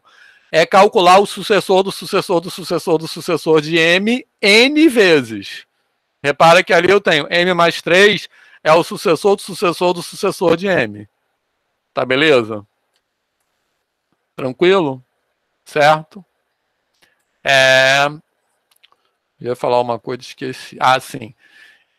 A gente não sabe ainda que é comutativo, tá? Então, depois a gente poderia. Uma das coisas que a gente teria que demonstrar é que fazer, calcular sigma de sigma de sigma de m n vezes produz o mesmo resultado que calcular sigma de sigma de sigma de n m vezes, que é a propriedade de comutatividade, mas que a gente não sabe ainda. Tá legal? Beleza? Opa. Então, em particular, já podemos dizer agora que aquilo que eu falei, naquele momento não podia, mas agora já podemos dizer que sigma de m é igual a m mais 1. Tá legal? Certo? Então o sucessor de m agora já ganha esse sentido. Sucessor de um número natural é ele somado com o sucessor do zero. Né? Essa definição que estabelece isso. Tá tranquilo? Beleza? É... Bom, aí, como eu falei, o princípio da indução tem um papel fundamental nisso aí, porque agora eu vou só dizer rapidamente como é que o princípio da indução formaliza isso que a gente escreveu aí, né? Em que sentido? É o princípio da indução que garante, né? Porque como eu falei já várias vezes, o que, é que o princípio da indução diz? O princípio de, da indução diz que o processo de tomar o sucessor consecutivamente a partir do zero esgota cobre completamente o conjunto dos números naturais, certo? Nesse caso, essa ideia aplicada a essa, esse caso, ela vai nos dizer que essa definição, né, ela vai garantir que a soma de m com qualquer número esteja definida. Ou seja, esse processo de somar é, consecutivo, né, de somar é, m com 1, m com 2, m com 3, ela, ele vai cobrir a soma de m com n para todo número natural n. Tá legal? Então, essa ideia, que é bastante intuitiva, ela é descrita formalmente dessa forma, tá? Eu vou pegar o conjunto A dos números, assim, é, pensando que m está fixo, né? Isso é para todo número natural m. Então, vamos pensar assim, fixado um m, né, eu vou pegar o conjunto dos números naturais n para os quais m mais n está definida, né? Certo? Para todo m, beleza? Então, pelo item 1 da definição acima, o zero pertence a esse conjunto, porque o item 1 diz quem é a definição de m mais zero. Então, m mais zero está definida. Então, zero pertence a esse conjunto. Beleza? E o item 2, o que, é que o item 2 diz? Que se eu conheço M mais N, então eu conheço M mais sigma de N. Em outras palavras, quando eu falo que eu conheço M mais N, o que quer dizer isso? Quer dizer que N pertence ao conjunto A. Tá legal? E o item 2 da definição ele define M mais sigma de N em função de M mais N. Tá tranquilo? Certo? É... É... Então, ele diz exatamente isso aí. Que se N pertence a A, ou seja, se M mais N está definida, então sigma de N pertence a A. Ou seja, M mais sigma de N está definida. Então, isso é o que o item 2 da definição diz. Então, com esse argumento, né, é, quer dizer, esse argumento mostra como o princípio da indução garante que a soma, que essa definição, de fato, define a soma para quaisquer números naturais m e n. Tá beleza? Alguma dúvida? Tá, aí a mesma coisa para o produto, né? Então, o produto eu vou definir assim. Então, no primeiro item, eu digo o que é multiplicar por zero, né? Eu sempre tenho que começar do zero. E depois eu vou ter um item que ensina a somar, a somar não, a multiplicar m pelo sucessor de um outro número n em função de da multiplicação de m por n, que é isso aí, tá? Tá beleza?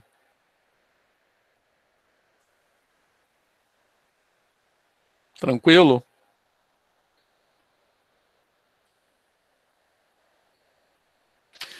É, então, repara que esse item 2 ele tem a, a, a, essa mesma característica, ele expressa m vezes sigma de n em função de m vezes n, também em função da soma, porque a soma já foi definida antes. É, e é, esse item 2 também expressa aquela ideia intuitiva que a gente tem na educação básica de, que, de multiplicação como soma repetida. Então, o que, que é multiplicar é, m por sigma de n? É multiplicar m por n e somar m mais uma vez. Tá beleza? Então, da mesma forma que eu fiz com a soma, né?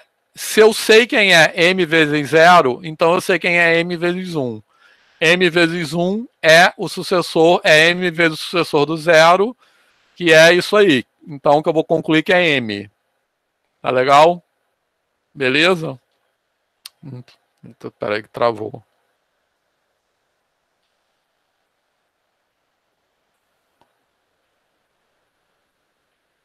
Pronto. E aí eu vou saber quem é m vezes 2. Tranquilo? Que é m mais n, né? m mais m, desculpa, então é m vezes o sucessor do 1, aí m vezes 1, a linha de cima me ensina que é m, então eu tenho que m vezes 2 é m mais m. Da mesma forma, m vezes 3 é m mais m mais m.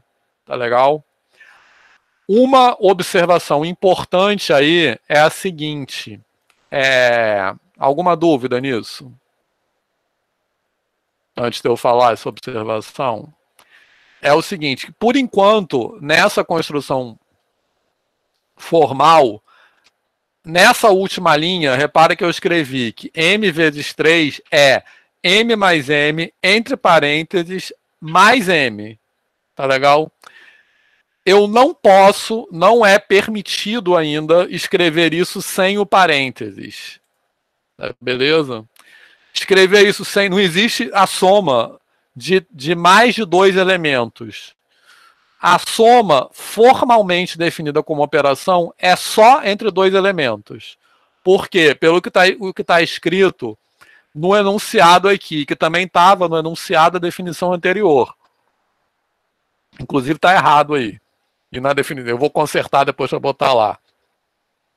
É, eu vou Vou consertar aqui logo, porque senão não vai fazer sentido o que eu estou falando. Peraí. Aí depois eu conserto na outra, tá?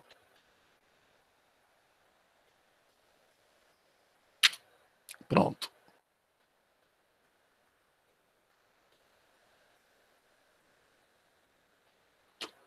Calma aí.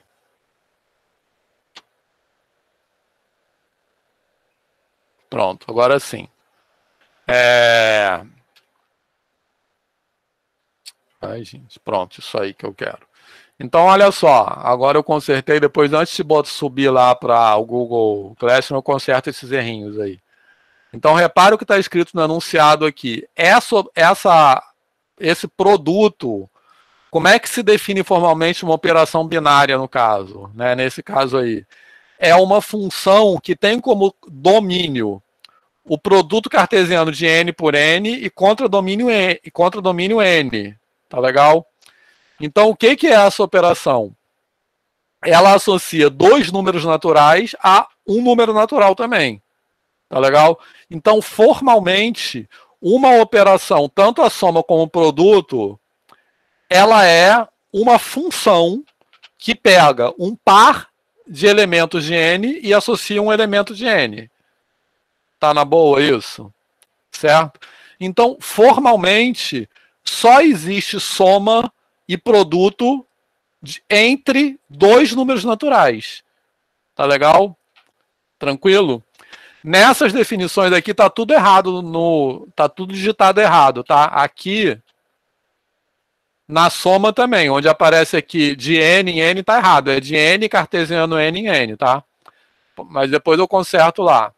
Então olhem para esse aí. Beleza? Então, formalmente, não está definida nem soma nem produto de mais de dois números naturais. Tá legal?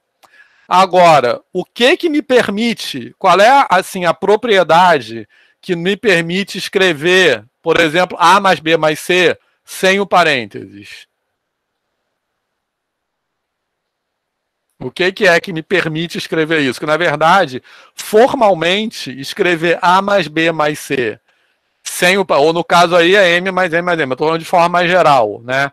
A mais B mais C sem o parênteses, formalmente é um abuso de notação. Mas existe uma coisa que nos permite fazer esse abuso de notação. É uma coisa muito familiar. O que, que é? Propriedade associativa. Propriedade associativa, como Pedro falou ali, escreveu ali. Não sei quem falou. Foi o Pedro mesmo. Beleza? Porque repara só, sem a. Por que, que eu posso. É... Ah, tá. Linder. Porque, preste atenção, por que, que a propriedade associativa que nos permite escrever isso? Porque se não valesse a propriedade associativa, A mais B mais C sem o parênteses, não teria um resultado único. Beleza? Porque sem a propriedade associativa, A mais B, entre parênteses, mais C poderia dar outra coisa do que A mais B mais C entre parênteses.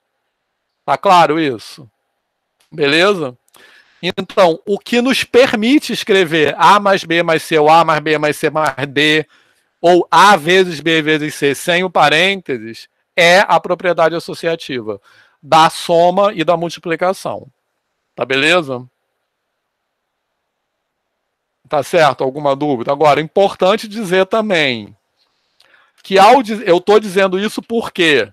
Porque o objetivo do encontro de hoje é isso. Quem está falando de culinária, Vinícius Linder. Exatamente, ótimo exemplo. Quero chegar lá. Olha só. É...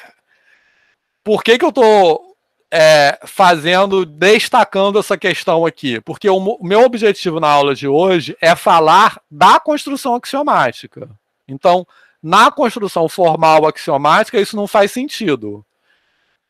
É importante dizer que eu não quero dizer com isso que não, no Fundamental 1 tem que escrever assim, tem que ensinar assim, beleza? Certo? Porque a gente já sabe, né, o movimento da matemática moderna, que ensinar desde os, das, das séries iniciais, usando esse formalismo matemático é, que surgiu né, nesse movimento de formalização na virada do século, não dá certo. Tá legal? Porque aí também, como o Vinícius falou, a gente é, ensina só a partir da síntese, né? A gente não ensina a partir da abstração. Beleza? Tranquilo? Então, é importante entender isso no contexto da formalização. Tá legal? Beleza? Mas não é para ensinar assim. Então, no Fundamental 1 e no Fundamental 2 não tem problema nenhum, porque o que a gente está. É, o nosso objetivo ali é que os alunos se apropriem dessa ideia de soma, que é aquela ideia mesmo que vem da experiência. Tá legal? O que a gente está falando aqui é outra coisa, é como aquela ideia abstrata que vem da experiência é capturada formalmente. Né? E por que, que isso é importante? Na matemática contemporânea, porque a matemática contemporânea ela cresceu de determinada forma que é, sem esse movimento de formalização no final do século XIX as pessoas não conseguiam nem mais se comunicar, beleza? Porque ninguém sabia nem de que, é que estava falando, né? Beleza? Para isso eu recomendo tem um livro do Laurent Schwartz que eu não lembro o nome do livro, mas o Laurent Schwartz era um dos matemáticos que compunha o grupo Bourbaki no qual ele critica isso, né? Ele fala por que, que o movimento de formalização, né, na virada do século XIX para o século XX, foi importante naquele momento histórico da matemática, né? Então, uma coisa que o Laurent Schwartz fala nesse livro que eu acho que é bacana, que ele fala que antes disso era não só aceitável, como considerado elegante você enunciar um teorema e depois um contra-exemplo do próprio teorema, né? Então as coisas começaram a ficar difíceis de falar mesmo, de você entender o que estava sendo dito. Beleza? Certo? Então, esse movimento de formalização mudou o paradigma e, o, e a cultura da matemática como campo científico.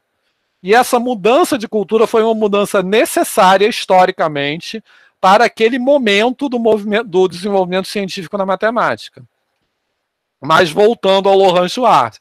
Então ele fala isso e ele ao mesmo tempo critica como isso foi longe demais, inclusive na educação, né? Mas não só na educação, porque às vezes a, a, a gente tem que entender a formalização, mas ao mesmo tempo equilibrando com as ideias. A formalização nos deve, não nos deve ab, é, obstruir as ideias. E muitas vezes acontece isso. A gente fica só na formalização e esquece de pensar nas ideias. Né? E na educação, a expressão desse movimento de formalização na educação foi o chamado movimento da matemática moderna, que em inglês era New Math, né? nova matemática. Em português foi traduzido para matemática moderna. Que apregoava que era que você tinha que ensinar com base na, na axiomática de conjuntos, tudo desde lá do primeiro ano, do fundamental. E já isso fracassou é, espetacularmente. Tá legal? Beleza?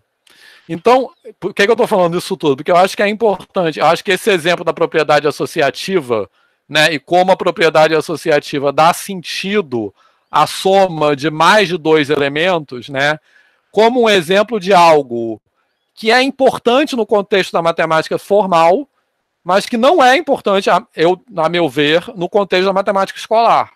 Tá legal? Então é importante a gente reconhecer e valorizar a importância do formalismo matemático, mas não extrapolar essa importância, né? Então isso acho que é um exercício também que eu já falei várias vezes, da gente não pensar dicotomicamente, né? certo? Não idealizar uma coisa nem desvalorizar. Então, às vezes, quando se critica o uso do formalismo excessivo na educação, essa crítica implica ou é interpretada muitas vezes, ah, não, esse formalismo não serve para nada. Então não é nem uma coisa nem outra. É claro que ele serve. Sem ele, a gente não teria a matemática que a gente tem hoje. Né? Mas a gente tem que entender exatamente para que, que ele serve. Tá beleza? Certo? Algum comentário sobre isso? Certo, então eu vou só terminar. Já acabou o tempo da aula. Isso aqui basicamente é a mesma coisa, tá? Que eu já falei para a soma. É a mesma coisa para o produto, né? É, como é o princípio da indução que garante que essa definição, de fato, define produto para todo número natural n a partir do processo de tomar o sucessor. Alguma dúvida? Beleza? Tá, então eu vou só é, enunciar as propriedades e na aula de quinta a gente vai, vai passar para o passo 3, que é a ordem. Tá? porque tem várias observações importantes também sobre ordem. Beleza? Então, olha só. As propriedades das operações são aquelas familiares é, mesmo, né, que a gente conhece. Né? Então, elemento neutro da soma, comutatividade, associatividade, beleza? Aquelas familiares. É, eu só quero fazer sobre essa lista tá? Duas observações importantes. Uma delas é que a gente está, eu estou acrescentando nessa lista duas propriedades que são menos familiares, talvez, que são a, as cancelatividades, né? Da soma e do produto. Beleza? Que são o item 4 e o item 8. Tranquilo? Inclusive ali no item 4 tá errado e no item 8 também, tá? Que no item 4 o certo seria M mais P igual a N mais P implica M igual a N. E no item 8 a mesma coisa. Tá legal? Tá beleza? Mas perceberam o que, que é? Então, por que, que eu preciso incluir essas propriedades de cancelatividade na lista? Porque eu não tenho os elementos inversos. Se eu tiver os elementos inversos, eu não preciso falar de cancelatividade. Porque a cancelatividade, o que, que é? é somar com o inverso aditivo ou multiplicar pelo inverso multiplicativo. Mas no caso, como? Então, é, nas estruturas algébricas, nas quais existem inversos para as operações, decorre diretamente da existência dos inversos a validade da cancelatividade. Tá beleza? Certo? No caso, como eu não tenho isso em N, então eu tenho que é, acrescentar isso. Ronald. Não, fiquei só numa duvidazinha. O elemento neutro do produto é o zero? Eu, eu lembro de ter visto que era o 1. Um. Não, claro que é. Não, porque tá errado também. Isso aí é tudo erro de copy paste, tá, gente? Depois eu vou consertar tudinho, pode deixar. É... Inclusive, essa propriedade que está aí, eu nem tinha visto, Ronald. Essa propriedade que está aí não é nem elemento neutro, né? Isso é uma propriedade do zero, isso também é um, é um outro teorema. Né? Mas o que tem que estar tá escrito aqui é n vezes 1 igual a n. Tá beleza? Certo? É, isso aí é erro de digitação mesmo. Assim como na cancelatividade também é erro de digitação. Mas todo mundo é, visualizou aqui, entendeu o que, que eu quis dizer? que o que tem que estar tá escrito aqui tanto no 4 como no 8 é M mais P igual a N mais P implica M igual a N, tá? E no 8 também, M mais P igual a N mais P implica M igual a N, tá beleza? Certo? Tranquilo? Agora, só rapidinho terminando. É, eu falei que ia terminar 5 horas, nunca consigo, mas juro que tá acabando. Olha só, que é uma observação importante também que eu acho sobre isso. Que também é um exemplo de como a matemática formal, que a gente, é importante a gente entender a matemática formal, mas ela não deve ditar a forma como a gente ensina na escola básica. Esse exemplo da cancelatividade é outro exemplo que eu acho disso, né? Por quê? Porque aqui, por que, que a gente precisa anunciar a cancelatividade? Por que a cancelatividade? Porque a gente não tem a existência do inverso, multiplicativo e aditivo. Beleza? Certo? Então ela não decorre dela, não, não vem daí, ela é um teorema em si. Agora, na escola básica, eu acho que mesmo quando a gente fala de números naturais, a gente deve evitar ao máximo falar desse negócio de cortar dos dois lados. Que é o que cortar dos dois lados é o que a propriedade de cancelatividade diz. Mas na escola básica, independente de qualquer contexto, eu acho que sempre a gente deve associar. Nunca deve falar, vamos cortar dos dois lados. É, a gente sempre deve associar, na, na, a meu ver, em somar o inverso ou multiplicar pelo inverso. Por quê? Porque, é, porque de fato é isso que a gente faz. Né? E essa, essa fala de cortar dos dois, do, dos dois lados, ela leva a todo tipo de mal entendidos, né? Assim, então, aluno que, por exemplo, é, escreve, sei lá, x mais 2 é igual a 5, então x igual a, a 5 sobre 2. Beleza? É uma coisa que não produz sentido muitas vezes para o aluno. Então, na educação básica, eu defendo que você só deve usar o termo cortar dos dois lados ou algo assim, depois que o aluno tem muita segurança com aquilo. Nunca no primeiro momento. Então, no primeiro momento, eu acho que o que tem que ter ênfase, né, no caso, resolução de equações e também de inequações, é, a, é quando a gente tem uma igualdade, a gente aplica a mesma coisa, a mesma operação dos dois lados dessa igualdade. Tá beleza? Algum comentário sobre isso? Ficou claro isso que eu estou falando? Eu acho muito ruim, porque é um macete e aquilo vira é, uma coisa que o aluno não entende nada do que você está falando. Tranquilo, Daniela, quer falar?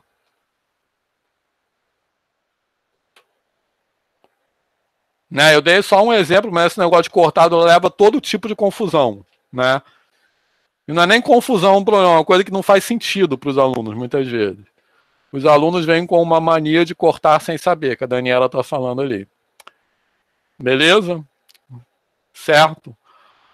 Bom, outra observação sobre isso, e que eu vou falar também na aula de quinta, é que a distributividade, né, é, ela também tem um papel fundamental nessa lista. Por quê? Porque a distributividade é a única propriedade é, na qual que relaciona soma com produto. Beleza? Então, a distributividade é a propriedade que torna a soma e o produto uma estrutura só. Porque senão seria, repara, seria propriedades de soma justapostas com propriedade de produto. Então, o que faz isso aí de uma estrutura algébrica só é a, a distributividade, né, que relaciona é, as duas operações. Isso é importante porque na aula que vem, quando a gente falar de ordem, também tem uma coisa que faz essa, esse papel é, na, na, relação de ordem, mas eu não vou dar muito spoiler. É, Pablo, quer falar? Pablo está falando aquele exemplo π sobre 11. Esse exemplo π sobre 11, que é igual a tio, né? É um exemplo radical. Mas é exatamente isso. Né? Então, essa fala, ah, vamos cortar, é, ela, ela faz com que os alunos não produzam significado para aqueles símbolos. Né? É, a, aqueles, a, a, a, álgebra vira um conjunto de regras sem sentido, meio que um vale tudo. Né? Um conjunto de regras sem sentido. Beleza? Então, por isso que eu estou defendendo. Na escola básica, a gente deve evitar ao máximo esse tipo de, de linguagem, a não ser lá quando o aluno já está super familiar com aquilo, mas nunca na introdução, né? Beleza? Aí que eles saem cortando tudo. Aí tem várias, vamos dizer assim, piadas, né? Memes sobre isso. Seno, o cara, seno sobre cosseno, o cara corta o X com X. Mas isso aí a gente fala como piada, mas é sério, né? Porque são erros que vêm de uma forma adequada de falar, né? De um, ou seja, são obstáculos didáticos que estão lá no Fundamental 1 e que se propagam até o ensino superior, né? Muitas vezes. Beleza? Tranquilo? É isso aí, Pedro tem que ter uma construção, exatamente. E na aula que vem a gente vai continuar daqui e eu vou é, cada propriedade dessa é um teorema, tá legal? Certo? Cada propriedade dessa aí, te, é, ela tem que ser demonstrada.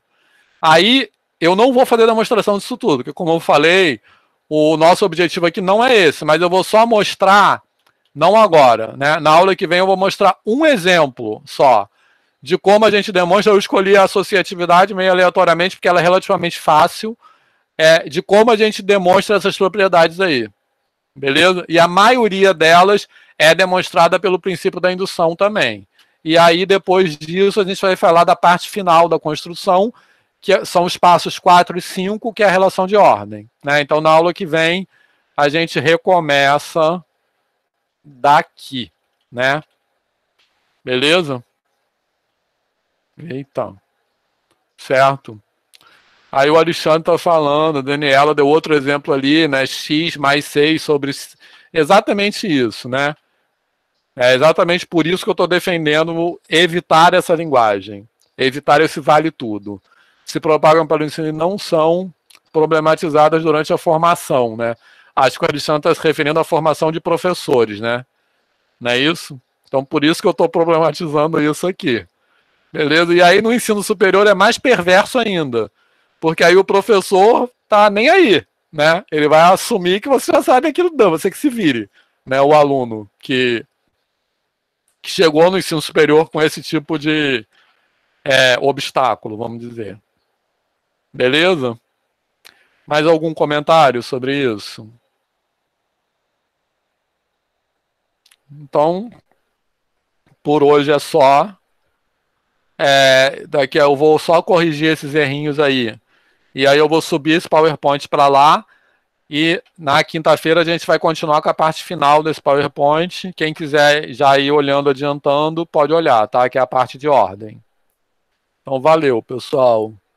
O que, que, é isso? Ô, Vitor, Fala, Marcelo. deixa eu só falar um negócio rapidinho. Luciana tinha falado aquela hora, e também estavam falando sobre a hegemonia da, da Grécia, e que uhum. a Grécia, o que, que era Grécia na época, era né, em cima do Mediterrâneo. Eu coloquei um mapa aí, que, uhum. que eu acho muito legal, porque ele é cheio de bolinha. Em cada bolinha você você clica em cima dela, aí está uma, uma, certa cidade e coloca todos os matemáticos de todos hum. os séculos que nasceram lá, tá? Ah, legal, obrigado, Marcela. Depois você tá. bota lá no mural do Google Classroom. Tá, tá bom. Que aí no chat, embora a gente, eu sempre tenha subido esse chat para lá também, é mais difícil de achar, eu acho. Tá bom, pode deixar que eu Beleza?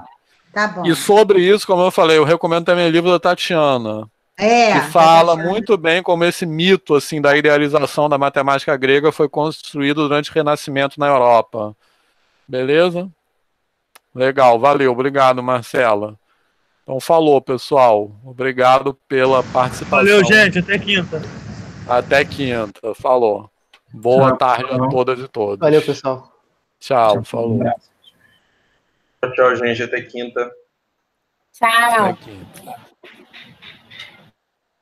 Tchau, tchau, até quinta.